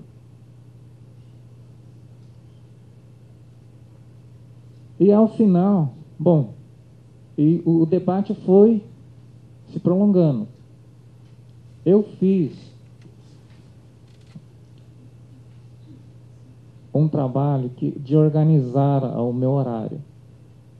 Toda a emenda que era passada, eu fazendo uso do ensinamento que os meus avós me passaram, de ervas que fazem com que popularmente se se diz, nos deixa cabeção. Eu estudava de, na média de 10 a 12 horas ao dia. Toda a matéria que era passada, eu lia a indicada e a outra suplementar. Quando me perguntavam alguma coisa, eu sabia. E aí começaram a dizer: Ah, mas esse índio não tem nada de bobo, ele sabe o que quer e a que veio. Ah, mas claro, Quando encerrou o primeiro semestre, é aquela correria de aluno. Ah, vamos ver qual foi a avaliação. Aí, entre os contra indígena, foram lá, qual é a tua nota? Ah, é essa. E a do índio? Foram lá ver. Ah, não, tá errado. O professor errou. O índio não pode ter uma nota melhor do que a minha. E outras coisas se sucederam, como por exemplo, um dos colegas dizendo: Bom, agora que você vai ter o título de mestre, que você está civilizado, você vai voltar para a tua aldeia, você vai voltar para o teu povo? São perguntas que tiram o nosso chão. Eu respondi para ele o seguinte: Olha, se ser civilizado é, ao sair aqui da universidade, passando aí pelos semáforos, ficar olhando essas crianças aí pedindo e não se sensibilizar, se ser civilizado é continuar jogando os pais numa prisão chamada asilo e só se preocupar com o pagamento das parcelas no, no final do mês, se ser civilizado é dar continua, continuidade aos índices cada vez maiores de violência doméstica, se ser civilizado é jogar uma criança para a destruição da vida dela, eu sou bem sincero contigo. Eu vou voltar lá para a aldeia onde está sendo chamado de não civilizado. Bom, entre outras coisas, ah, na antropologia, as ideias elas voam. Até é comum se dizer que antropólogo viaja. E muitas das vezes, ah, na sala de aula, os colegas coitados vinham afirmando coisas, repetindo coisas que vêm sempre repetindo ao longo do tempo. Aí eu dizia: vou ter que discordar de você. Do ponto de vista da educação que eu tive, do povo a que eu pertenço, não é assim. É, sei que a minha orientadora deve ter uma paciência de Jó, porque também nós alongamos as nossas discussões quando temos que tratar de algum assunto. Às vezes, naquele dia, não chegamos a um acordo, numa outra conversa que vamos chegar a um acordo. Nisso eu tenho que reconhecer a paciência que ela tem tido e a profissional, a profissional que ela é e a ética que ela tem tratado do assunto, com a qual ela tem tratado do assunto. Bom, esse é o primeiro momento. O segundo momento seria a, em tratar das condições de permanência. Não vou nem falar da questão de entrar na universidade. Porque entrar é fácil em qualquer lugar. Basta achar uma porta aberta. Mas como permanecer? E essa permanência ela passaria por três eixos. A primeira seria a estrutural. E nesse, como já foi dito, é, seria o oferecimento de uma monitoria, um acompanhamento desses alunos. Essa é uma ideia, isso não quer dizer que tem que ser assim. Além da bolsa permanência, ver se tem outras formas de fazer com que esse aluno indígena permaneça na universidade, porque quando se trata de indígena, aqueles que são da área sabem que um indígena representa uma família. E quase sempre essa família quer estar com ele naquele lugar aonde ele está indo. Aqueles que moram perto da universidade têm a facilidade de estar indo todos os dias para sua casa. Mas e aquele indígena que como no meu caso, estou a 3 mil quilômetros da minha casa. Essa é uma situação. Como acontece lá na, na, na UFPA, o RU é gratuito.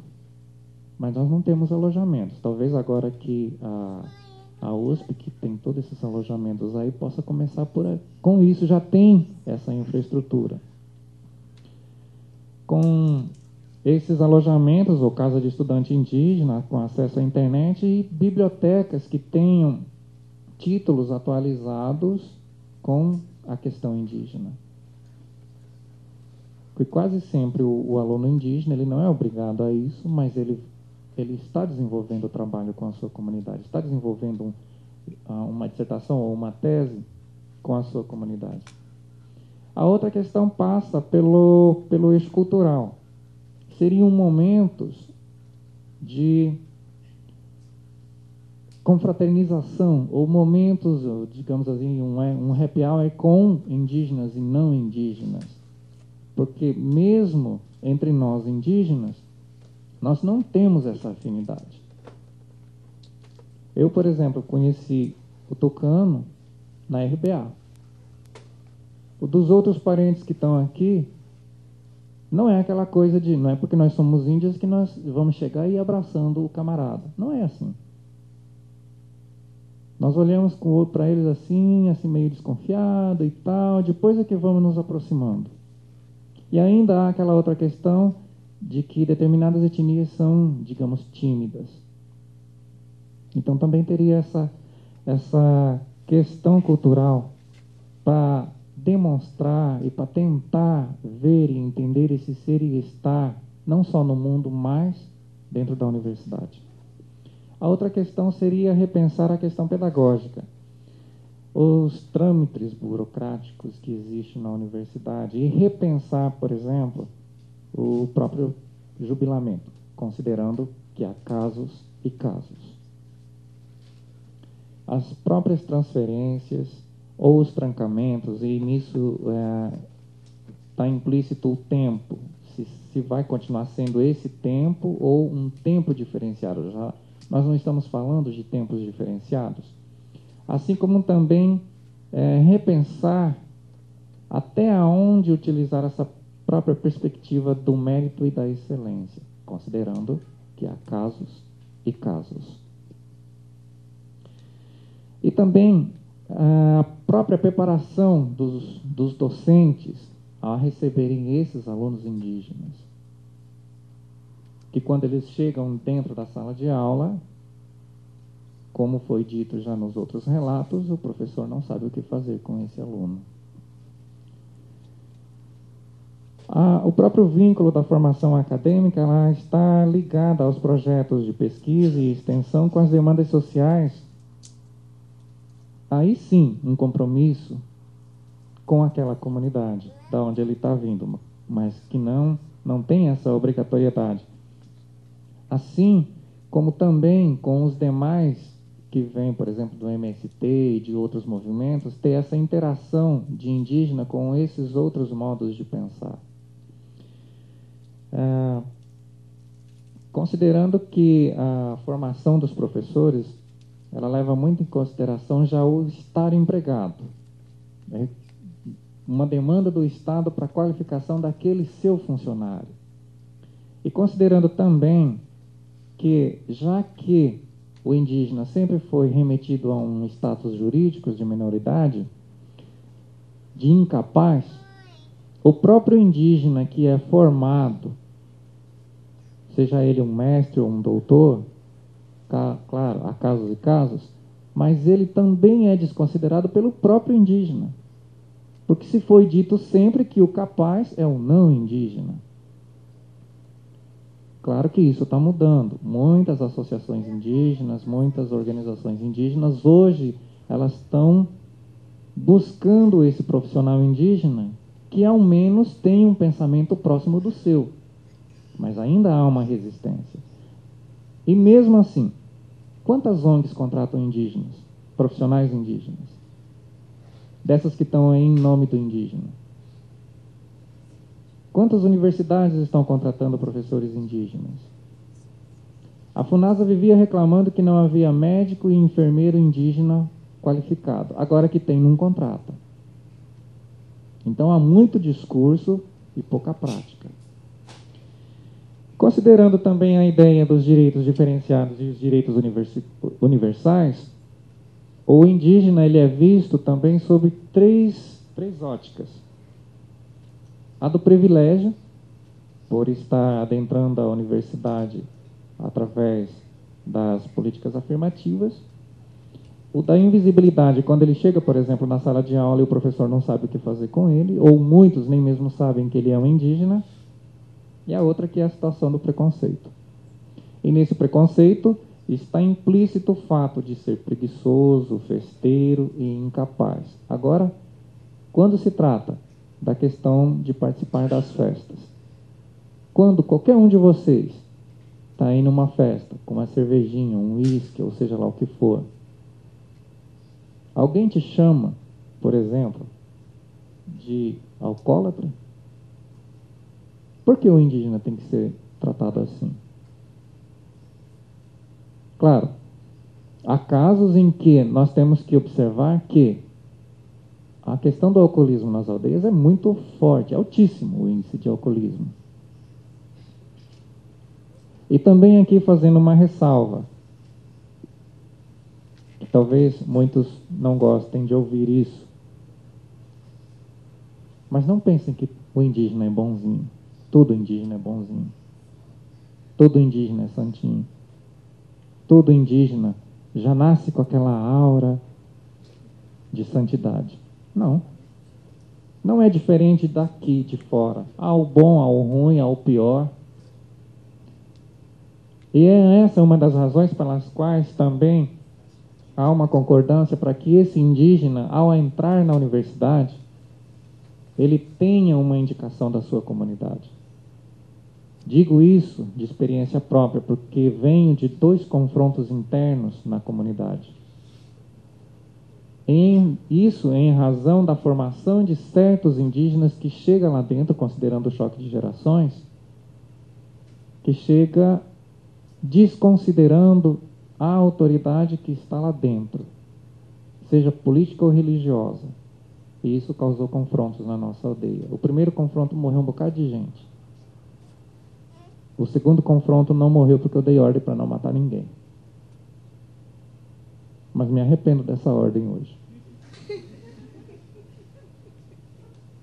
E é por essa razão também que pesquisador, seja indígena ou não indígena, vai pesquisar na nossa comunidade? Ótimo, vamos assinar um contratinho.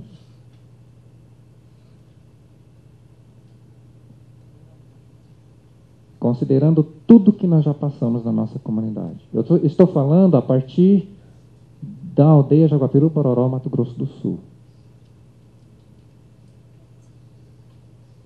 Meu tempo acabou e ainda tinha algumas coisas, mas isso fica para um outro momento. Muito obrigado.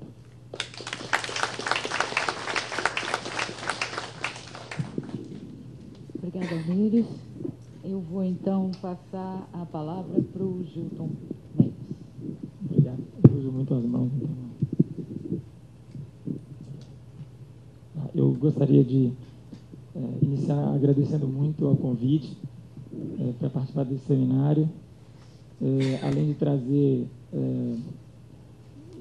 a nossa experiência com a pós-graduação na UFAM, tenho nutrido muito das experiências aqui apresentadas é, esse cenário mais global, mais geral, que é muito importante para a, a, consolidação, certamente, do nosso, da nossa invenção e, e, e da continuidade é, da nossa proposta. Então, gostaríamos de agradecer é, a Dominique, ao Renato Studman e toda a equipe do SESTA pelo convite e pela, pela acolhida. É, eu, em função do tempo, organizei é, a minha fala em, em, alguns blocos que eu estou chamando de pontos, então eu gostaria de trazer é, seis pontos a partir de um, um cenário é, da nossa experiência para é, problematizar e refletir junto com vocês. É, antes eu gostaria de também é, começar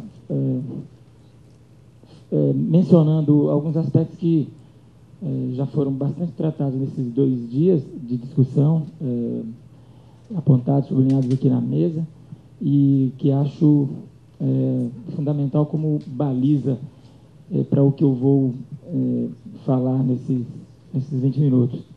É, são dois, na verdade. O primeiro é, diz respeito a, a, essa particularidade do, do conhecimento científico e que a universidade é, é por excelência, um, um lugar, um instrumento é, muito particular do, dessa procriação do, desse estilo de, de conhecimento é, e que sabemos né, que a, a instituição do pensamento científico, ele, ele é, por natureza, é, ele exclui, né, ele nega outros tipos de conhecimento. Né? Isso, é,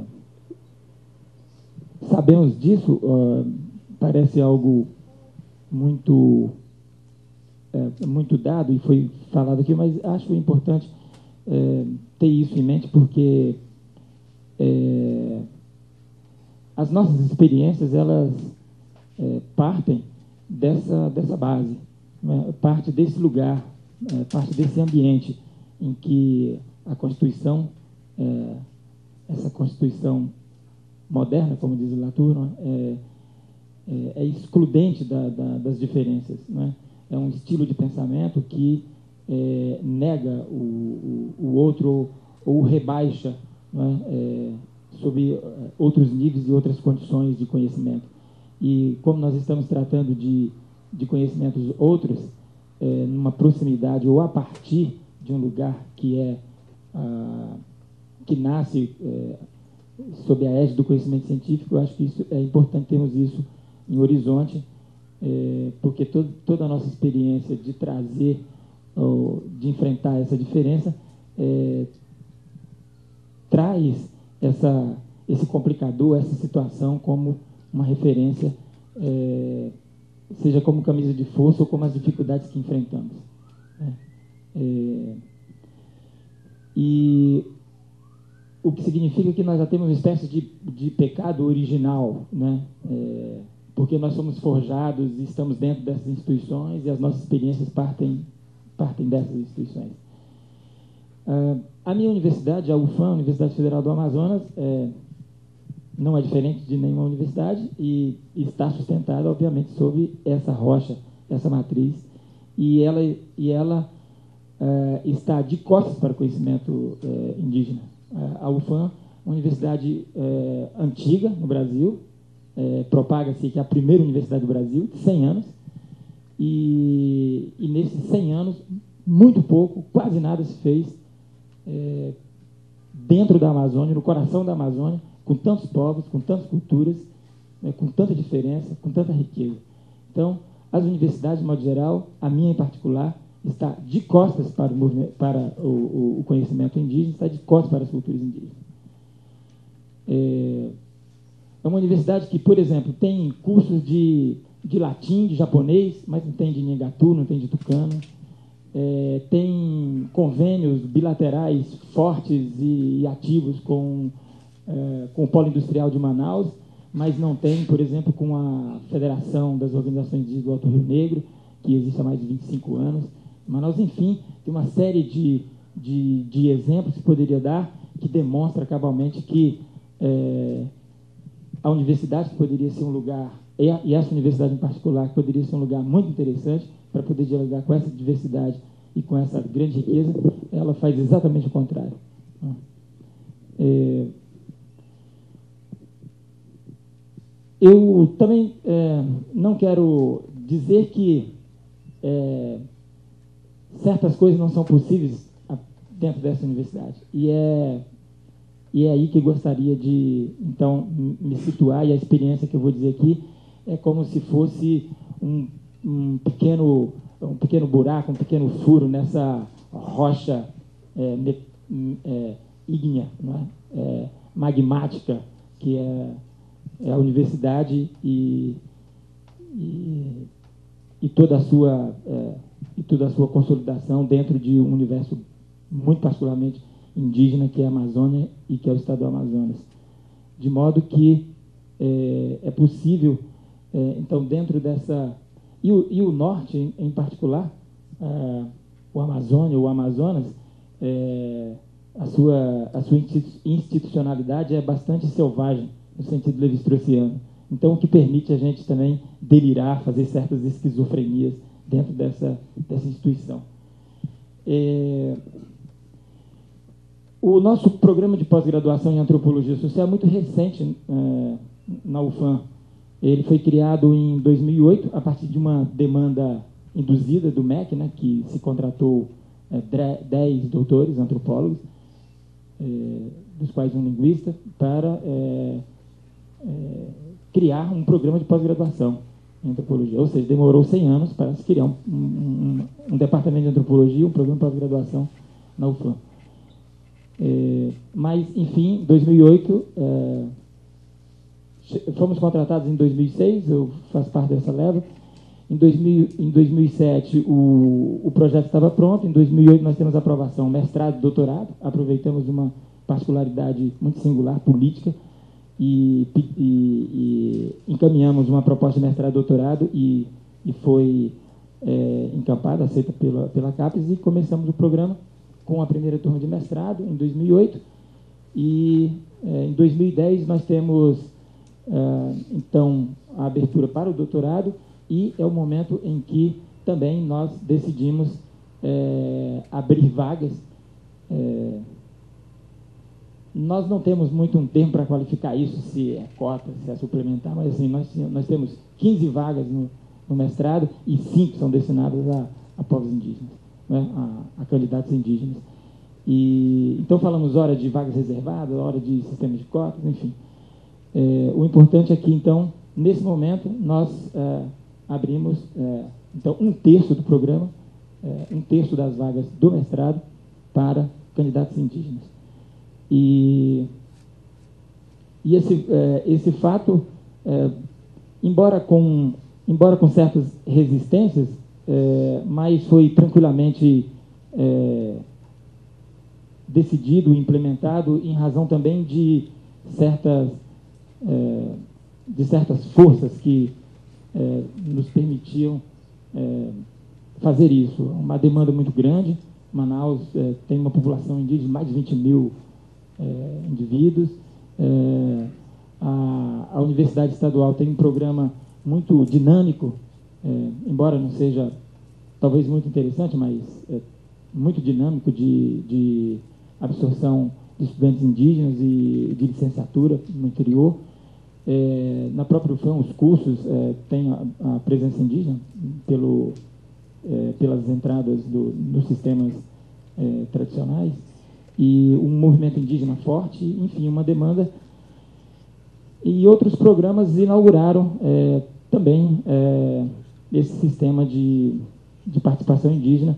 É, eu lembro aqui o programa, é, programa pós-graduação em Sociedade e Cultura, que é, assim que chegamos, assim que o Departamento de Antropologia, o programa foi instituído, nosso programa de antropologia, nós é, já tínhamos visto, a, a, sabido da experiência do Sociedade e Cultura que é, havia recrutado candidatos indígenas, mas que no, no seu segundo ano já havia só sobrado.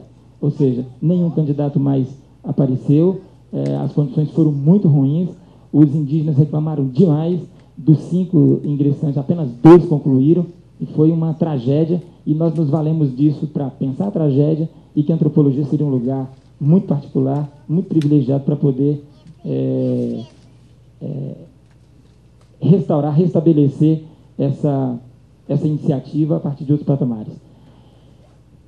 É, nós fizemos então a seleção, a primeira seleção é, com essas vagas reservadas em 2010 e ingressaram é, quatro indígenas no, no programa. Piratapuio, uh, um, um, um, indígena tucano, João, João Paulo, que está aqui do meu lado, é, um Abixana e é, um, Noticuna.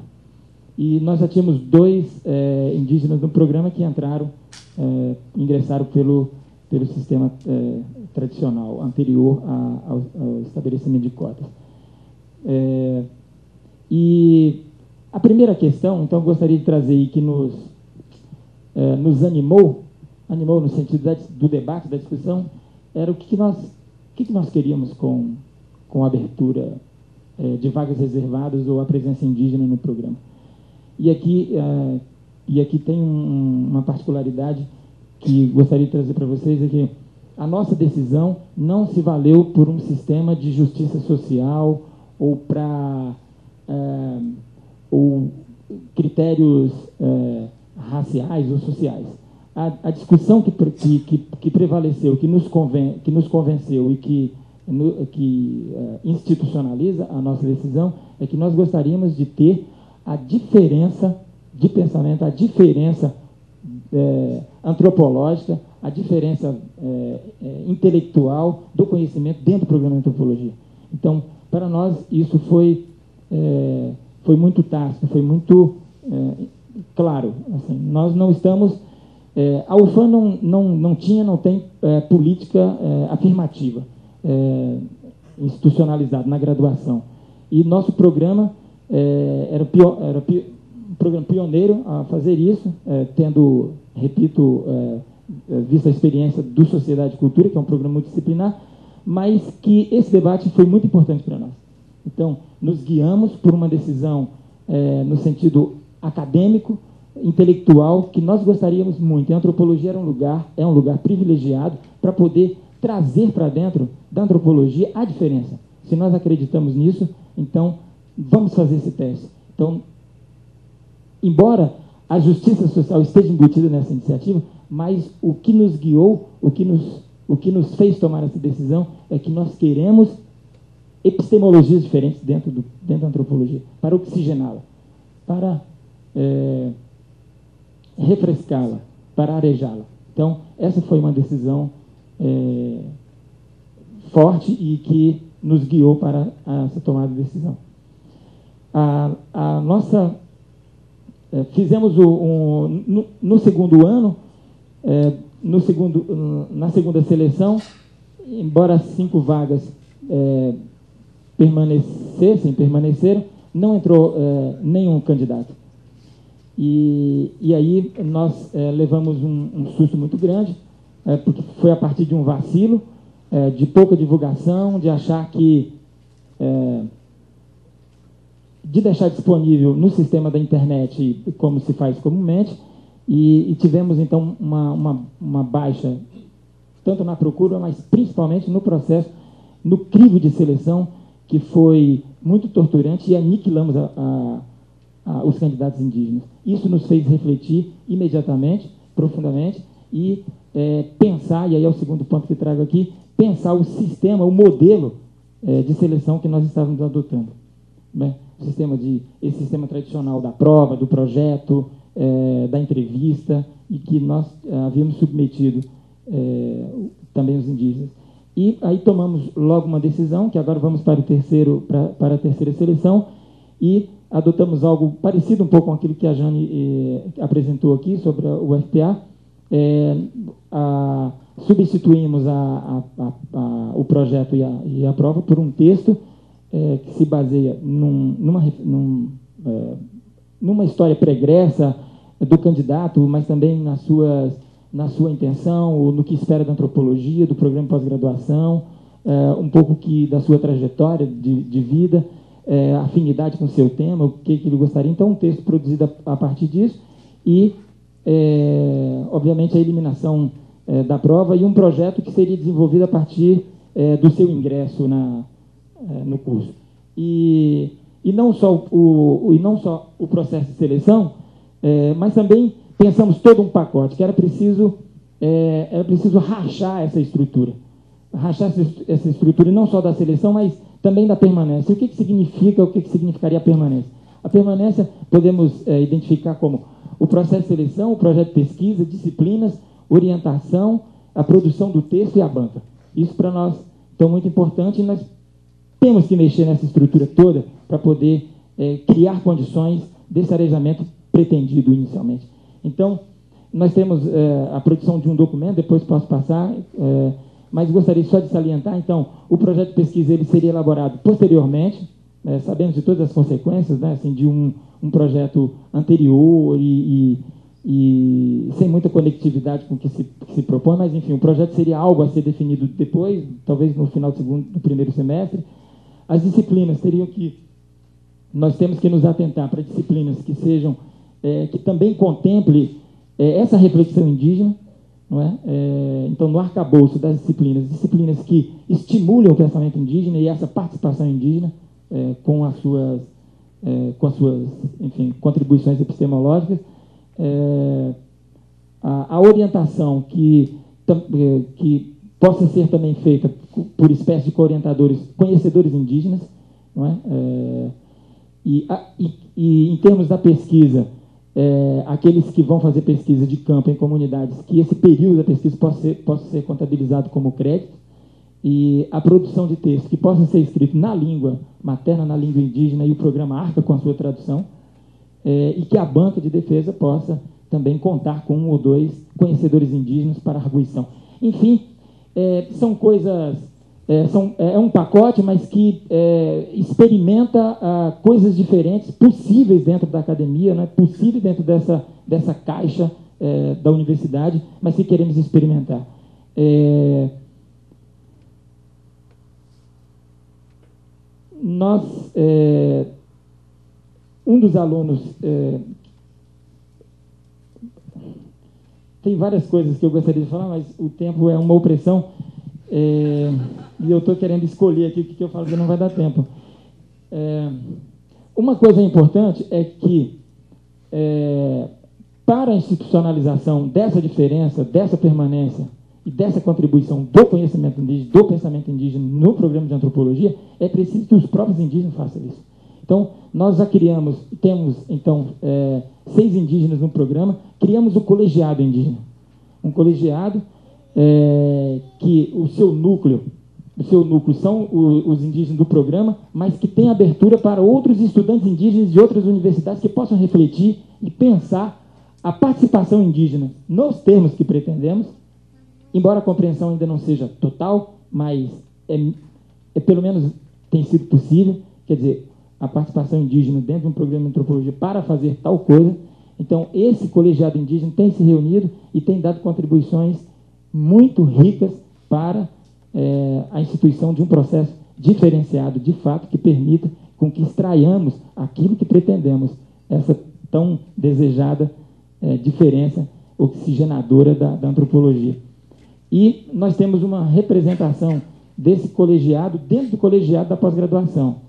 Então, João Paulo, por exemplo, nesse momento é o representante indígena no colegiado dos docentes né, é, e, dos, é, com representação discente também, obviamente, do, do colegiado. É, e, é, por fim, gostaria de, de, de, sublinhar mais um último ponto, é que essa, a, a minha experiência de orientação é, com João Paulo, que vai para o segundo ano do seu mestrado, tem é, nos feito passar por esse circuito, né, a partir do momento que ele ingressa, o circuito das, de pensar as disciplinas, de produzir o texto, de fazer pesquisa né, e de pensar uma banca. É, nos próximos seis meses, João Paulo está se formando e nós temos perseguido, pensando juntos, a partir de agora eu falo de uma experiência muito pessoal de orientação, e o João Paulo vai poder falar isso é, do seu ponto de vista e, e, e com mais detalhes do que eu, o que, que tem significado, então, essa experimentação a partir de um processo de orientação que envolve essas dimensões. Então, tem sido um aprendizado é, muito, muito forte para ambos nós. É, e, por fim, falta um minuto, Via? Tá, estou terminando. Então, por fim, gostaria de trazer um caso emblemático é, do que, que significa do que, que significa também essa nossa proposta, que foi ah, a partir de de um exemplo de um, um, dos, um dos, dos nossos alunos indígenas que é, entrou com muita dificuldade no programa antes, do, antes de instituirmos essa política. É, isso também nos fez fortalecer mais uh, ainda sobre essa proposição, que é, por, por, preconceito, por dificuldade de alguns colegas, isso existe também na antropologia, né, obviamente, é, de a sua, o seu ingresso é, foi, foi, muito, foi, muito, foi muito difícil, difícil no sentido de, é, de considerar a prova e, e, o, e o, projeto é, dispensável. Nós é, conseguimos é, trazer o, o aluno para o programa e a sua participação foi excelente ao longo dos dois anos e tive, enfrentamos um outro problema é, do ponto de vista institucional é, e salientado por colegas é, docentes, que foi a sua reprovação é, consecutiva na, na, na, prova de inglês e, e, e, havia proposta de e o nosso regimento propõe que a segunda reprovação exclua automaticamente o aluno. Nós seguramos isso, né? Tivemos, é, assim, foi achávamos que seria um escândalo é, fazer isso, é, depois de quase dois anos, excluir um, um, um, aluno indígena que tinha, uma, inclusive, uma trajetória muito é, interessante ao longo desses dois anos. É, e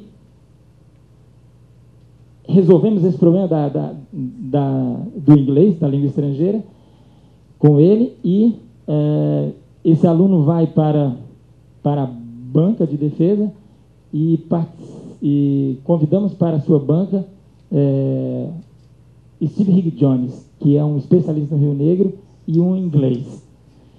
E o, o Steve Higg Jones fica encantadíssimo com o seu trabalho, é, vê no trabalho né, desse nosso aluno uma contribuição significativa para a antropologia é, no estudo de organização social de hierarquia no Alto Rio Negro, propõe a publicação do trabalho e é, nos dá um grande exemplo, principalmente para aqueles colegas que é, consideravam que a dificuldade na língua inglesa poderia ser, né, é, deveria ser um elemento excludente e dá uma lição para todos nós e para esses em, em particular, é, mostrando que o seu trabalho é de fato uma contribuição para a antropologia, para a etnologia do Alto Rio Negro.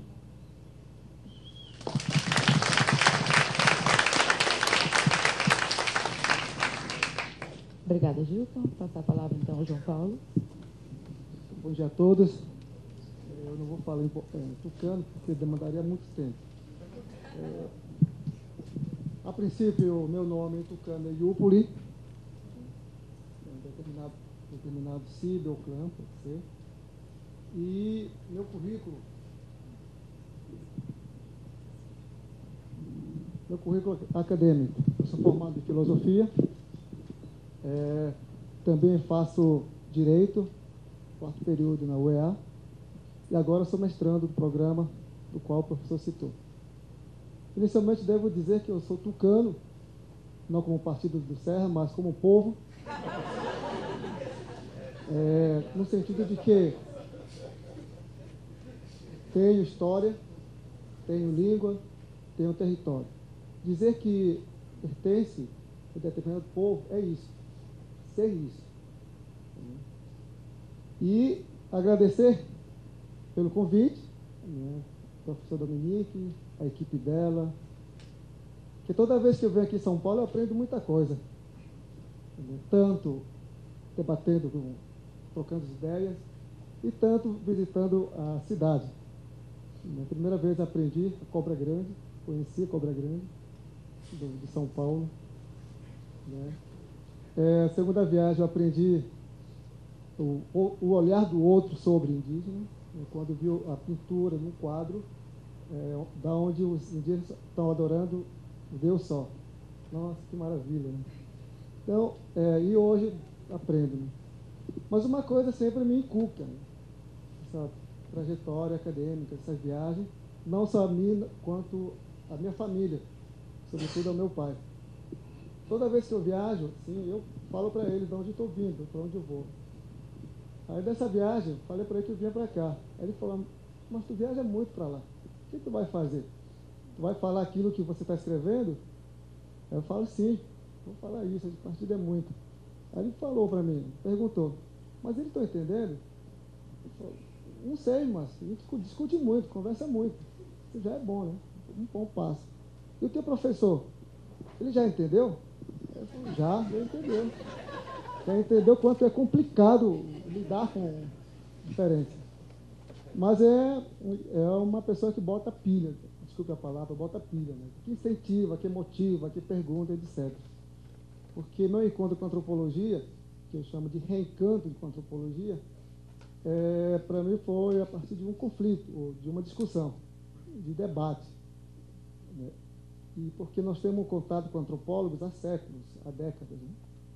E desde aí a gente é, lê ou a gente depara com produção literária a partir do, de um olhar do outro. Né? E com as palavras que o Mariano usou, a viagem, né? é isso. Né? Você viaja quando você olha o outro a partir do, da, da tua categoria, das tuas teorias. Então, isso eu aprendo a minha experiência dentro da pós-graduação. Quando é possível entender uma sociedade a partir de um gado, a partir de uma adentrar no mundo do outro e compreender o mundo do outro a partir da constatação de que o gado é, um, é uma chave para compreender a sociedade. E também muito interessante aprender dentro da academia é que um evento que leva a uma viagem de entender a uma outra sociedade. E também é interessante a gente ver, aprender na academia, ou na leituras, ou recomendação bibliográfica, ver que é, é, é possível entender o outro a partir de uma descrição. Viajantes, estou referindo. Que o álbum Purus recomendo, muito bom para entender isso. Mas uma das questões que nos fez me perguntar e nos debater dentro da nossa lógica da experiência acadêmica, dentro do pós-graduação, foi o, o, livro com o título A Volta do ao Lado do Leite. Né? É. Nossa, isso aí. Primeiro porque é, nosso, nossa lógica, nossa forma de organizar lá é patriarcal. Né? Sua Renata Tia deve sair muito bem. Aí quando a gente depara com uma leitura dessa, nossa, é um escândalo. Mas tudo bem. A gente percebendo, aprendendo com a leitura, percebe-se que é um olhar a partir de uma teoria feminista. De uma feminista. Bom, aí já muda o contexto. Né? Então, é, dentro dessa lógica de estar na sala de aula, é perceber quantas teorias são formuladas para entender a sociedade. Isso, para nós, é muito interessante e importante. E nosso debate aqui, como é, orientando do Gilton, eu tenho me aprendido, estou aprendendo cada momento cada instante. Pelo fato de que é, essa possibilidade só veio a partir de uma iniciativa ousada e criativa. Né? Em nenhum momento na, na graduação a gente percebe que nós indígenas temos teorias próprias de entender, temos nossos modelos de organização. Né? E nós somos é, é, incentivados a olhar a nossa cultura a partir de uma teoria do outro. Eu tenho percebido muito isso, tenho questionado isso, não esse público, mas comigo mesmo. Quando eu formei filosofia, eu queria estudar a, a, a minha filosofia a partir do, da filosofia do Kant. Putz, uma viagem louca. É, depois, quando eu encontrei o professor Gilton, apresentado pela outra colega, eu falei para ele que, que antropólogos sempre produziram identidade para os indígenas. Eu queria produzir identidade para os antropólogos, a partir do meu olhar indígena. Foi uma discussão legal, sabe? no sentido de que teve um momento que me perguntou, depois de várias questões, então, João Paulo, então me fale qual é a diferença mesmo. Qual é a diferença de vocês, não indígenas, com não indígenas?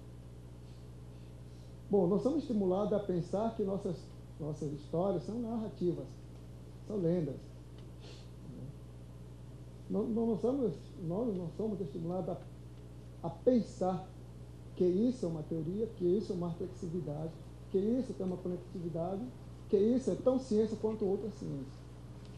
Estamos estimulados a pensar nesse patamar de mito, de lenda.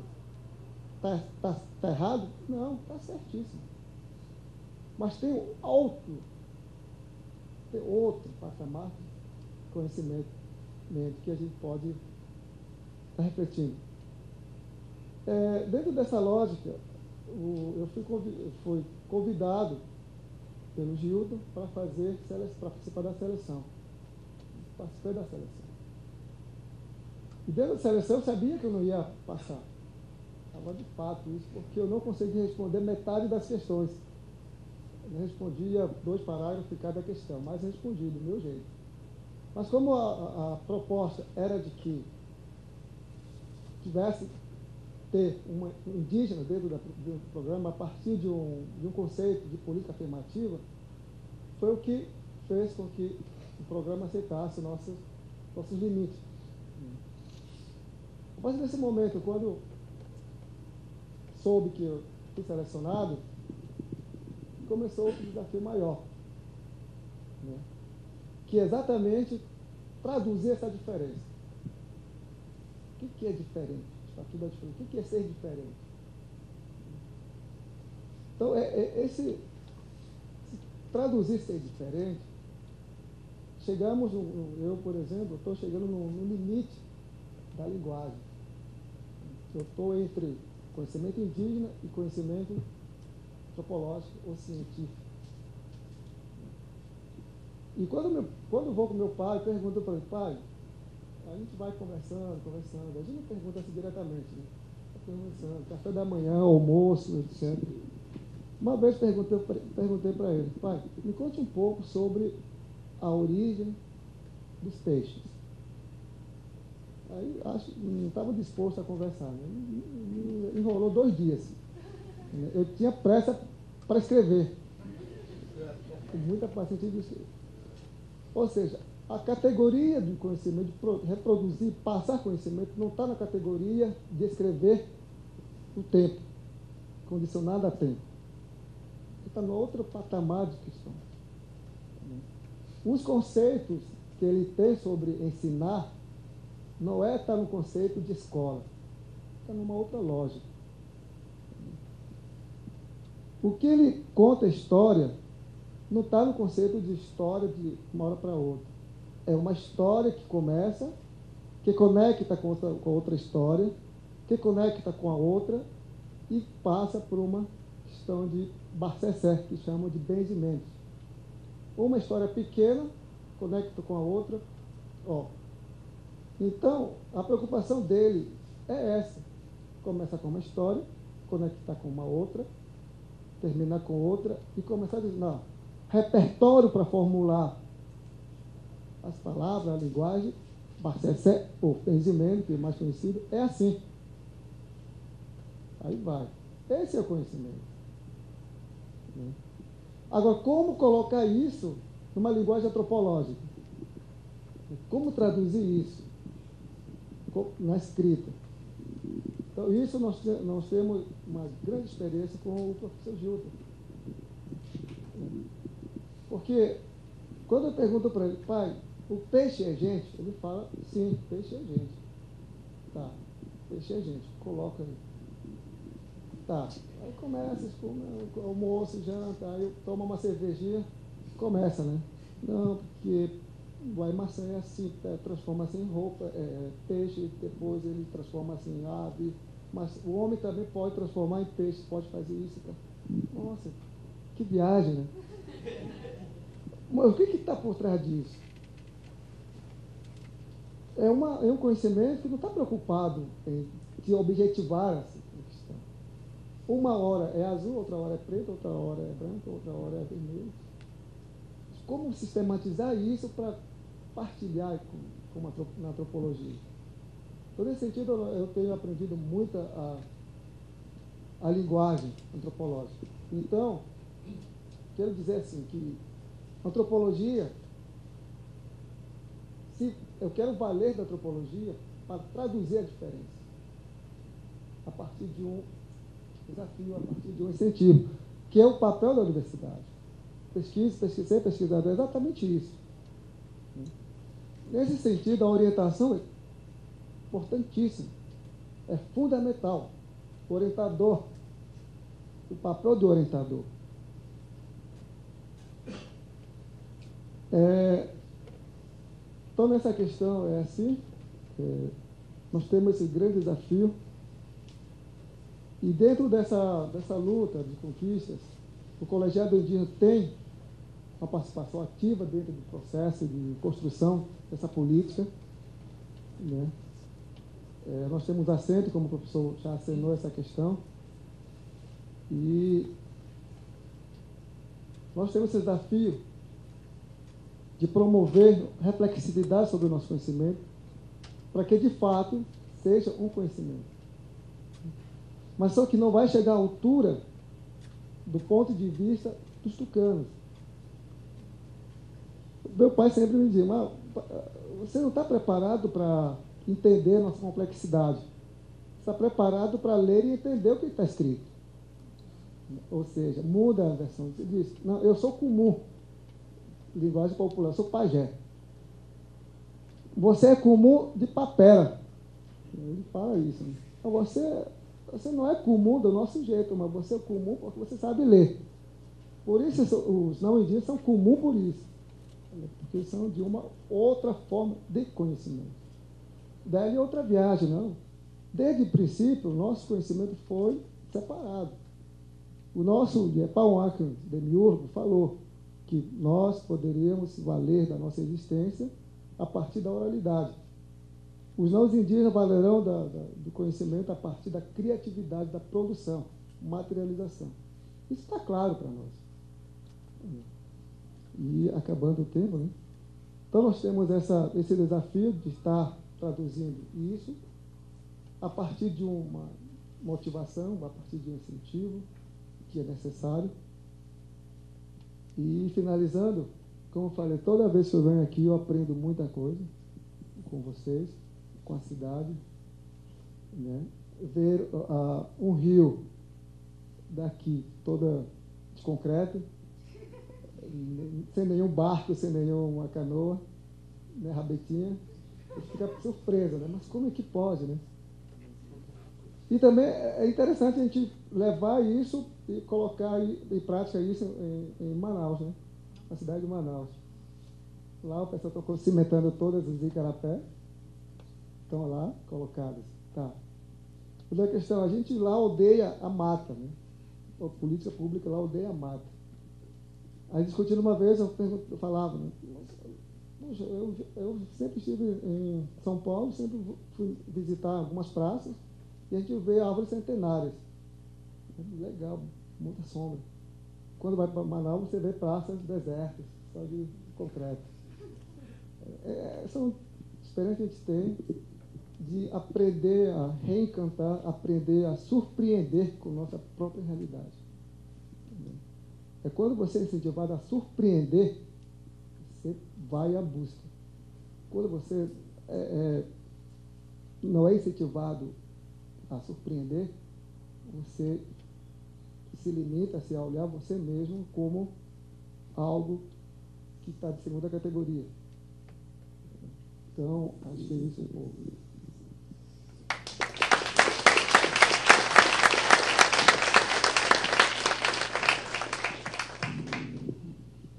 Obrigada, João Paulo. Eu agradeço, aproveito para agradecer a todos os, os componentes da mesa por todas essas apresentações. Uh, eu não sei se abrimos para o debate agora alguns minutos, porque.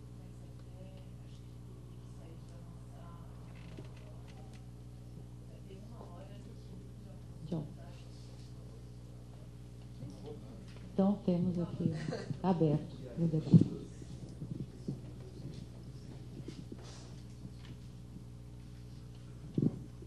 Meire Unifap é, a minha pergunta ou questionamento, não sei, professor Marcos e para mais em relação à questão do ensino de línguas e a pós-graduação.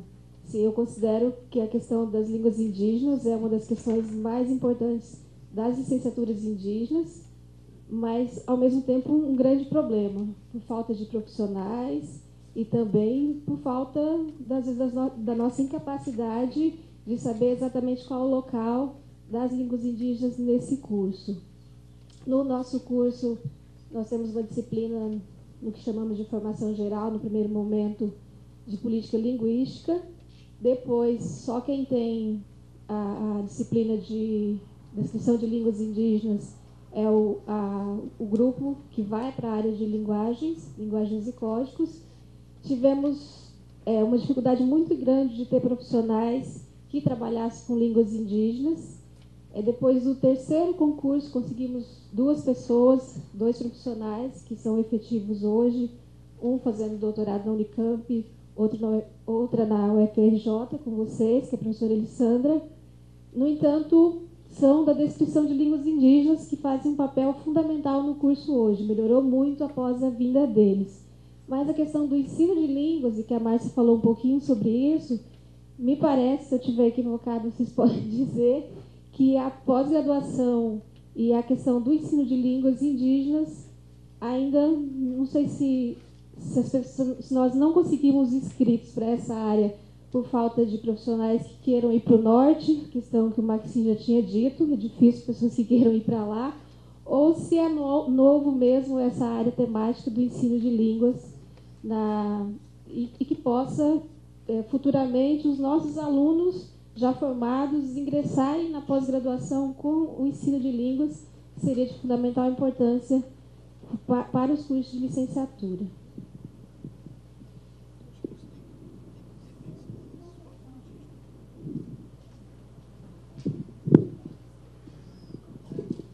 Se alguém mais tiver perguntas, talvez podemos.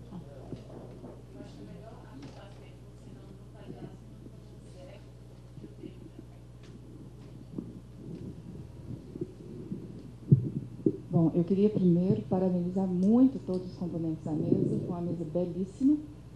É, o primeiro comentário é, que eu gostaria de fazer é que se há uma coisa importante na formação para a pesquisa, é conseguir despertar o encantamento dos alunos para a beleza e, e para a curiosidade. Né? Eu acho que a gente teve três falas de orientandos que colocaram evidência isso. Eles, inclusive, disseram muito claro, né? é bonito pesquisar a língua, me reencantei, a retórica do Almires, eu já ouvi o Almires duas vezes só, mas eu estou aprendendo a, ouvi-lo com atenção para entender o que, que ele incorporou da retórica dos juristas, que é uma retórica danada, e o que, que é a, a retórica guarani, que também é muito forte. Né? Mas eu queria primeiro dizer isso, que foi muito importante, quer dizer, a, a beleza é, da iniciação à pesquisa que vocês trouxeram e, e demonstraram de forma brilhante. Né? Eu vou fazer uma pergunta pontual para cada um, porque tem muita coisa que interessa, eu vou fazer bem pontualmente. É, no caso do, do Marcos e, e, da Márcia, é, ontem a Bruna Franqueiro falou da falta de é, formação para alfabetização em língua indígena. Isso é uma grande lacuna nas, em todos os cursos de formação. A gente tem discutido isso, é muito difícil, é muito complicado. O Marcos é o pioneiro, você começou justamente trabalhando com um projeto de alfabetização. E você nos fala hoje de essa entrada das ciências cognitivas na linguística, né? Na história da alfabetização, daquilo que se produz no campo da educação como alfabetização, tem uma influência muito forte. A psicologia cognitiva, no primeiro momento, né, modificada depois por teorias mais sociais. Eu queria que vocês nos dessem uma notícia mais atualizada, um, de como anda a possibilidade de se falar em uma formação para alfabetização em língua indígena, é, se isso tem, enfim, nos dias atuais, alguma retomada possível, e como é que você vê essa ideia de tentar usar os últimos, né, as explorações das ciências cognitivas, mas num diálogo profícuo com aquilo que já foi feito, porque historicamente na educação é o, são os estudos da psicologia cognitiva depois do campo é, das ciências cognitivas né, mais recentes que sempre definiram esses procedimentos que marcam a maneira como se lida com a alfabetização. Inclusive hoje eu reajo porque na minha família eu tenho um belíssimo sobrinho de 12 anos que fechou, hoje está com 16, mas fechou o processo de alfabetização com 12. Hoje isso não é mais possível legalmente. E são as ciências cognitivas que dizem que toda criança vai ter que ser alfabetizada até os 8 anos de idade. Eu me revolto. Enfim, acho que a gente tem uma, uma. Eu queria que vocês falassem um pouquinho disso. É um tema muito importante e uma lacuna muito grande. Para o Gilton e para o João Paulo, eh, não deu tempo da gente falar, nós temos uma experiência também de colegiado compartilhado, né? O colegiado dos nossos cursos, o CIUE, fez parte, é metade indígenas, metade não indígenas. Eu gostei muito da ideia de ter um colegiado indígena que possa se reunir e depois uma representação no colegiado. A gente produziu uma série de artifícios na UFMG para driblar as demarcações institucionais e continuar, mesmo agora, com curso regular, com um colegiado paritário, embora não seja essa a regra da universidade, a gente deu um jeito de driblar. Queria que vocês falassem um pouco mais dessa importância de como é que vocês lidam com isso, inclusive formalmente. Nós estamos precisando argumentar, porque a gente entra com essas propostas daí a pouco a gente é expulsa é, pela estrutura universitária que não aceita essas presenças né, espúrias. Como? Tem alguém que não é nem aluno, né, a gente traz para o colegiado é, lideranças, sábios, né? Não é nem aluno nem professor, e como é que era da estrutura? Né? Se vocês têm esse tipo de experiência, comentasse um pouco mais como é que isso vem funcionando do ponto de vista do colegiado indígena e do colegiado da pós-graduação. E a terceira pergunta para a Jane, mas é uma demanda que eu já fiz, e para o Almires, é, nesses, é, no campo das, das ações afirmativas, esses embates em torno das questões jurídicas, eles são hoje decisivos e a gente tem muito pouco material sistematizado. Se vocês têm notícia, têm a possibilidade no sentido de avaliar e argumentar juridicamente as questões que dizem respeito, por exemplo, processo seletivo, o que é possível e o que não é possível fazer, parte da minha irritação que vocês assistiram ontem, porque nós estamos vivendo dentro da UFMG, e aqui eu vou me permitir dizer isso, existe uma vaca sagrada chamada vestibular da UFMG, e cada vez que a gente adentra um pouco mais a experiência de ações afirmativas, esse monstro se apresenta e nos joga para trás. Então, é, um pouco da minha irritação, muita minha irritação vem do momento atual, e a gente está precisando muito de argumentos jurídicos para internamente nas instituições se fundamentar e avançar. Se a gente poderia contar com alguma formulação pela experiência que vocês têm no campo. Obrigada.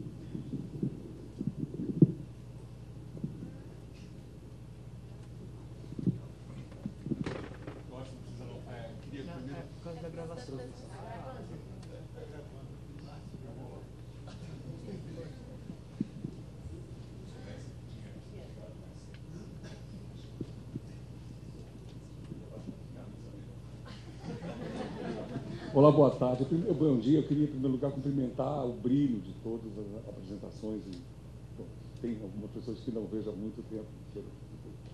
Eu vou juntar é, minha pergunta, uma coisa rápida, um, com base no, no, que o Gilton falou, mas especialmente é uma pergunta para o João Paulo. Um, você é, enfatizou que, para além do tema da justiça social, das cotas, etc., quer dizer, a, a há uma motivação, uma razão acadêmica fundamental é de arejamento da disciplina antropológica com a incorporação da diferença, né? para trazer para dentro do, do, do, debate intelectual a, a diferença. E, e, e, bom, retomando então o que o João Paulo falou, é, eu tive a oportunidade de conhecer o projeto dele no semestre passado, quando estive na, na, na Universidade do Amazonas. É, e você falou dos peixes, falou da origem dos peixes, segundo o Sucano, mas você faz trabalho de campo observando cientistas do INPA. E não sei se você pode falar uma frase sobre essa, essa experiência, porque você está lidando com cientistas hard, é, é, que são seus informantes. Isso não é uma, um, uma paisagem comum. Né? É, não é sempre que a gente vê um indígena é, pesquisador. Então, um pouco da, da hora vamos ter. Então, mais uma só e, e rápida, e vamos ter que encerrar. Eu adorei essa mesa, acho que foi uma mesa assim, muito instigante. Né? E eu só queria colocar uma, uma questão que para mim é fundamental em termos das experiências de acesso à pós-graduação. E a nossa experiência, que vai completar daqui a pouco 10 anos, ela tem sido feita da seguinte forma, e nós temos usado o instrumento do PEC-PG, como fundamento para a entrada de, de alunos na pós-graduação. Então, toda aquela discussão que você falou, ela não aparece. A discussão, nós temos um convênio com as organizações indígenas, nós temos um convênio com a FOIRM, nós temos um convênio com a APOIME, né? e eles fazem a seleção e eles indicam e apenas chega para nós o projeto. Ver um pouco a questão do projeto é o que nós vemos, mas a indicação, a seleção é feita pela própria organização indígena. Que eu acho que é uma questão muito mais evidente em termos da qualidade, em termos também do compromisso. Né? Mas eu queria perguntar outra coisa, e ao mesmo tempo colocar o João Paulo para falar. É, eu estou orientando o Tucano, que é o Oséias, né? que faz um pouco da. que faz parte também do mesmo povo do, do, do João Paulo. E eu sei que eles estão trocando e-mails, porque de vez em quando vem uma pergunta e vai pergunta para lá e vem pergunta para lá. Eu gostaria de saber um pouco dessa conversa entre os alunos tucano da pós-graduação no Brasil. Bom, então encerramos as perguntas. Quem começa?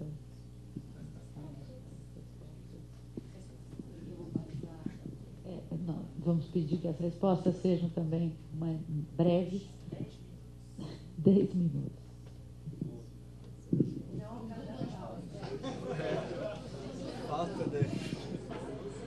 Bom, vou tentar responder a pergunta que foi endereçada a nós. No caso do, da Universidade Federal do Pará, eu acho que a institucionalização de um programa de ações afirmativas para povos indígenas e populações tradicionais, é, apoiado pela Ford, empoderou o grupo. Então, qualquer discussão sobre povos indígenas na Universidade Federal do Pará, eu sou chamada, porque eu coordeno o grupo. Né? Isso tem dado outro tipo de problema, mas isso é importante a gente colocar. Quanto às questões jurídicas, eu aprendi, estando no direito desde 2005, a argumentar com, com os juristas e com os procuradores. Então, eu argumento com a Convenção 69, que ela só foi aprovada em 2004 no Brasil, né?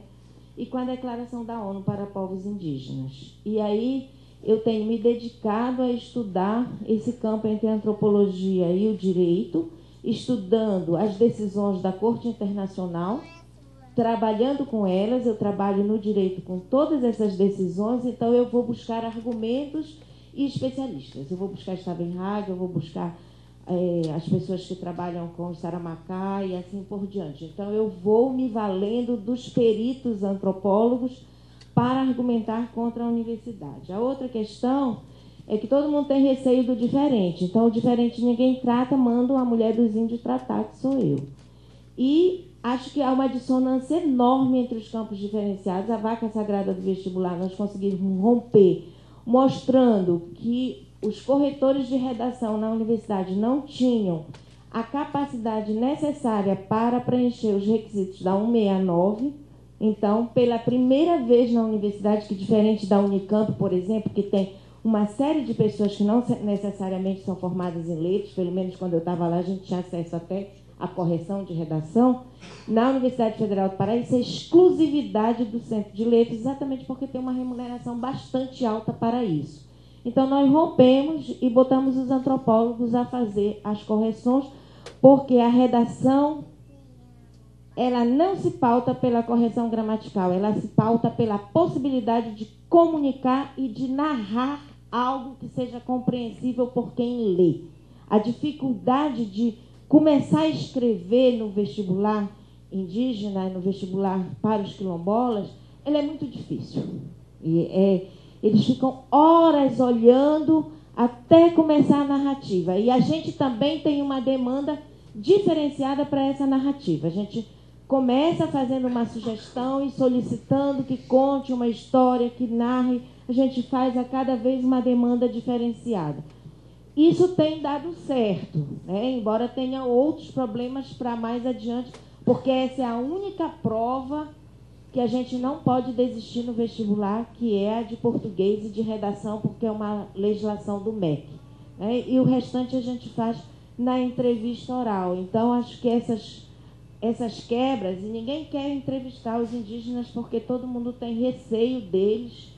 Acho que pensa que vão comer a perna da gente, alguma coisa parecida. Então, ninguém quer participar. É difícil selecionar as pessoas para isso e no primeiro, vestibular, no primeiro vestibular específico, a gente não teve é, indígenas participando. A partir do segundo, como nós já tínhamos os, as pessoas da pós-graduação, elas todas foram incluídas em cada uma das bancas, porque nós fazemos prova em quatro campos da universidade. Então, a gente incluiu assim.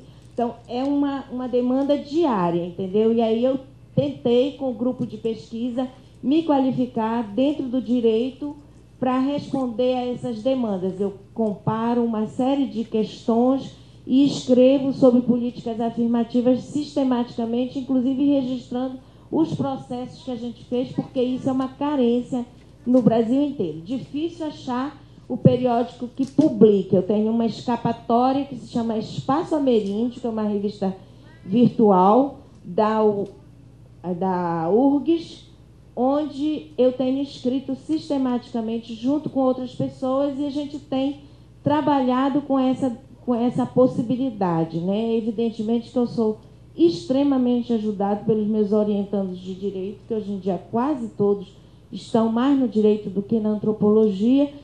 E também eu tive que me qualificar para responder às demandas judiciais do vestibular. Eu respondo, em média, a cada processo, umas 18 ou 19 demandas, em torno de 20 demandas por processo seletivo. Então, isso é uma questão que a universidade não trabalha com isso, o procurador não responde por isso. Então, quando manda prender o reitor porque o indígena não passou no vestibular, lá vai a advogada, que não é advogada, é um rábula, né?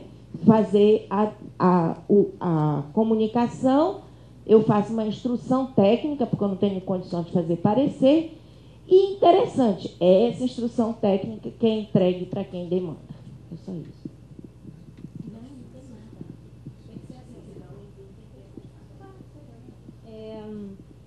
Tentando responder, comentando as perguntas aqui que foram feitas, é, essa questão do ensino de línguas, é, alfabetização, é uma, é uma questão velha né, na educação escolar indígena.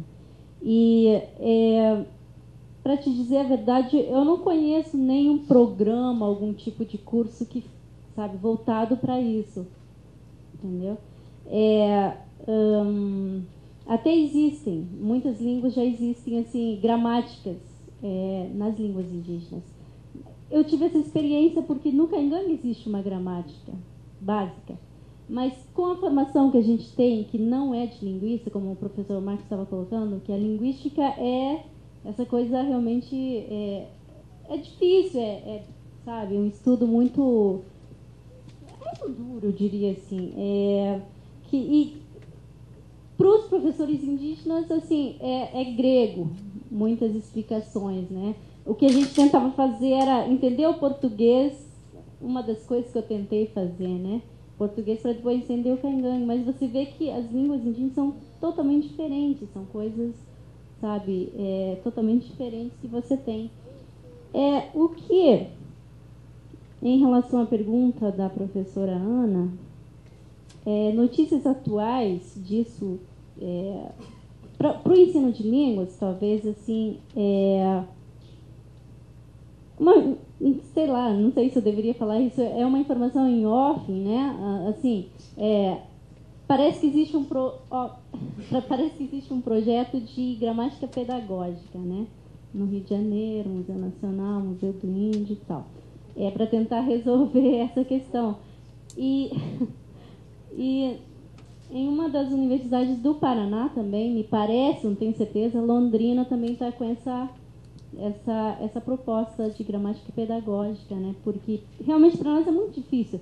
Depois que o aluno aprende a ler e escrever em Caingangue, praticamente assim você não tem como aprofundar com a formação que a gente tem de professor indígena, né? É, licenciatura e tal, você não tem como aprofundar é, no, no, ensino da, da gramática. Então, é, uma das coisas legais que eu acho é essa grama, propostas de gramáticas pedagógicas, né?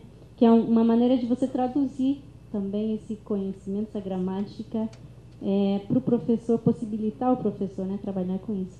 É, em relação é, às pesquisas, né? O professor estava colocando antes, as pesquisas, os estudos psicolinguísticos, eu. Tá, tá está bem rapidinho. É, é, os estudos psicolinguísticos é, tem sim a possibilidade de estar, estar ajudando. É, tem várias pesquisas em, em, várias áreas né, do conhecimento é, sobre ensino de L1, é, língua materna, língua é, segunda língua e tal. E eu acho que é importante também no ponto de vista de que todas as situações colocadas aqui em relação à alfabetização, ensino de línguas, muitas vezes são ignorados, né? Você tenta falar disso, mas sabe é, é ignorado isso. Então essas pesquisas é, elas podem dar mais visibilidade a todas essas questões. É, é só isso, obrigada. Ah, uma última coisa é que eu esqueci de falar que eu deveria ter falado. É, é, eu estou nessa pós-graduação por uma bolsa da, da, da Ford, não seria possível.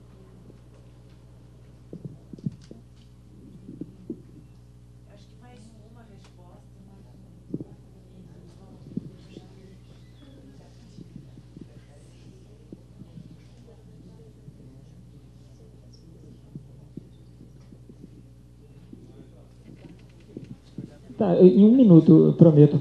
É, Ana, em relação à sua pergunta, é, podemos conversar depois, mas assim, quando eu disse que a institucionalidade é selvagem, não é metáfora não. É, tenho permitido muita coisa. Ainda a UFAM é uma instituição assim que você pode é, tem condições de, de inventar e passar pelos de forma muito tranquila pelos colegiados, pelas instâncias, entende? Então, quando nós decidimos isso, representação indígena no colegiado, formar o colegiado indígena, é no âmbito do colegiado da pós-graduação e pronto, acabou. Vai para a ata e nunca ninguém falou mais nada. Então, é um momento ainda de muita liberdade do, da institucionalização.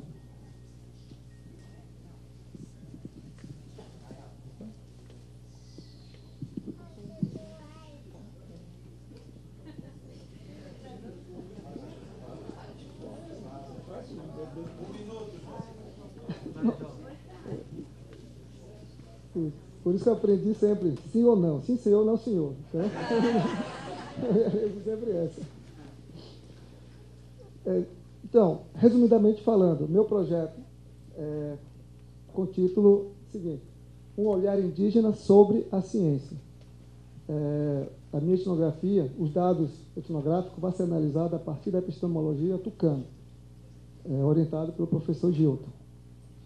É, na questão de colegiado indígena, foi formalizado o colegiado indígena como articuladora dentro do, do mestrado, é, para que particular junto com organizações e junto com os outros estudantes, independente de mestrado, doutorado, doutorando ou graduação.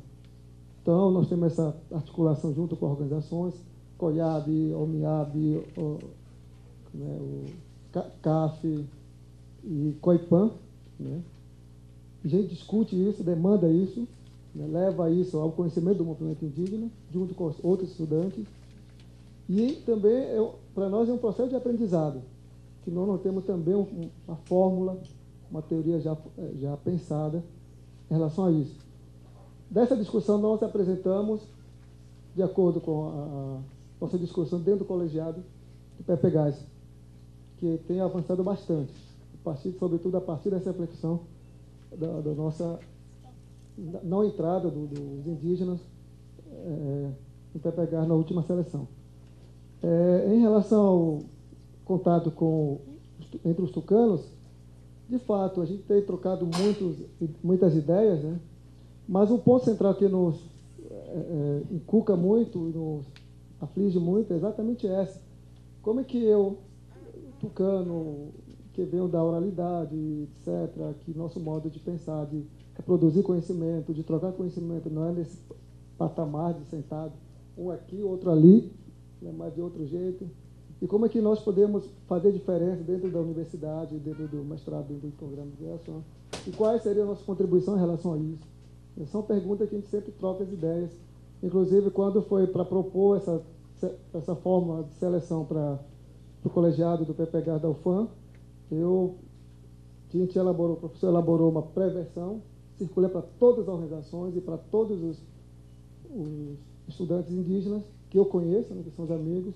E uma das contribuições que, que foi importante foi do Oséias, que ele fez uma contribuição bastante significativa, como do, do padre Justino também, que foi expressamente é, colocado. Poderia falar muita coisa, mas estamos com fome. É. Pois é, então vamos, continuamos mais tarde, estamos todos com fome.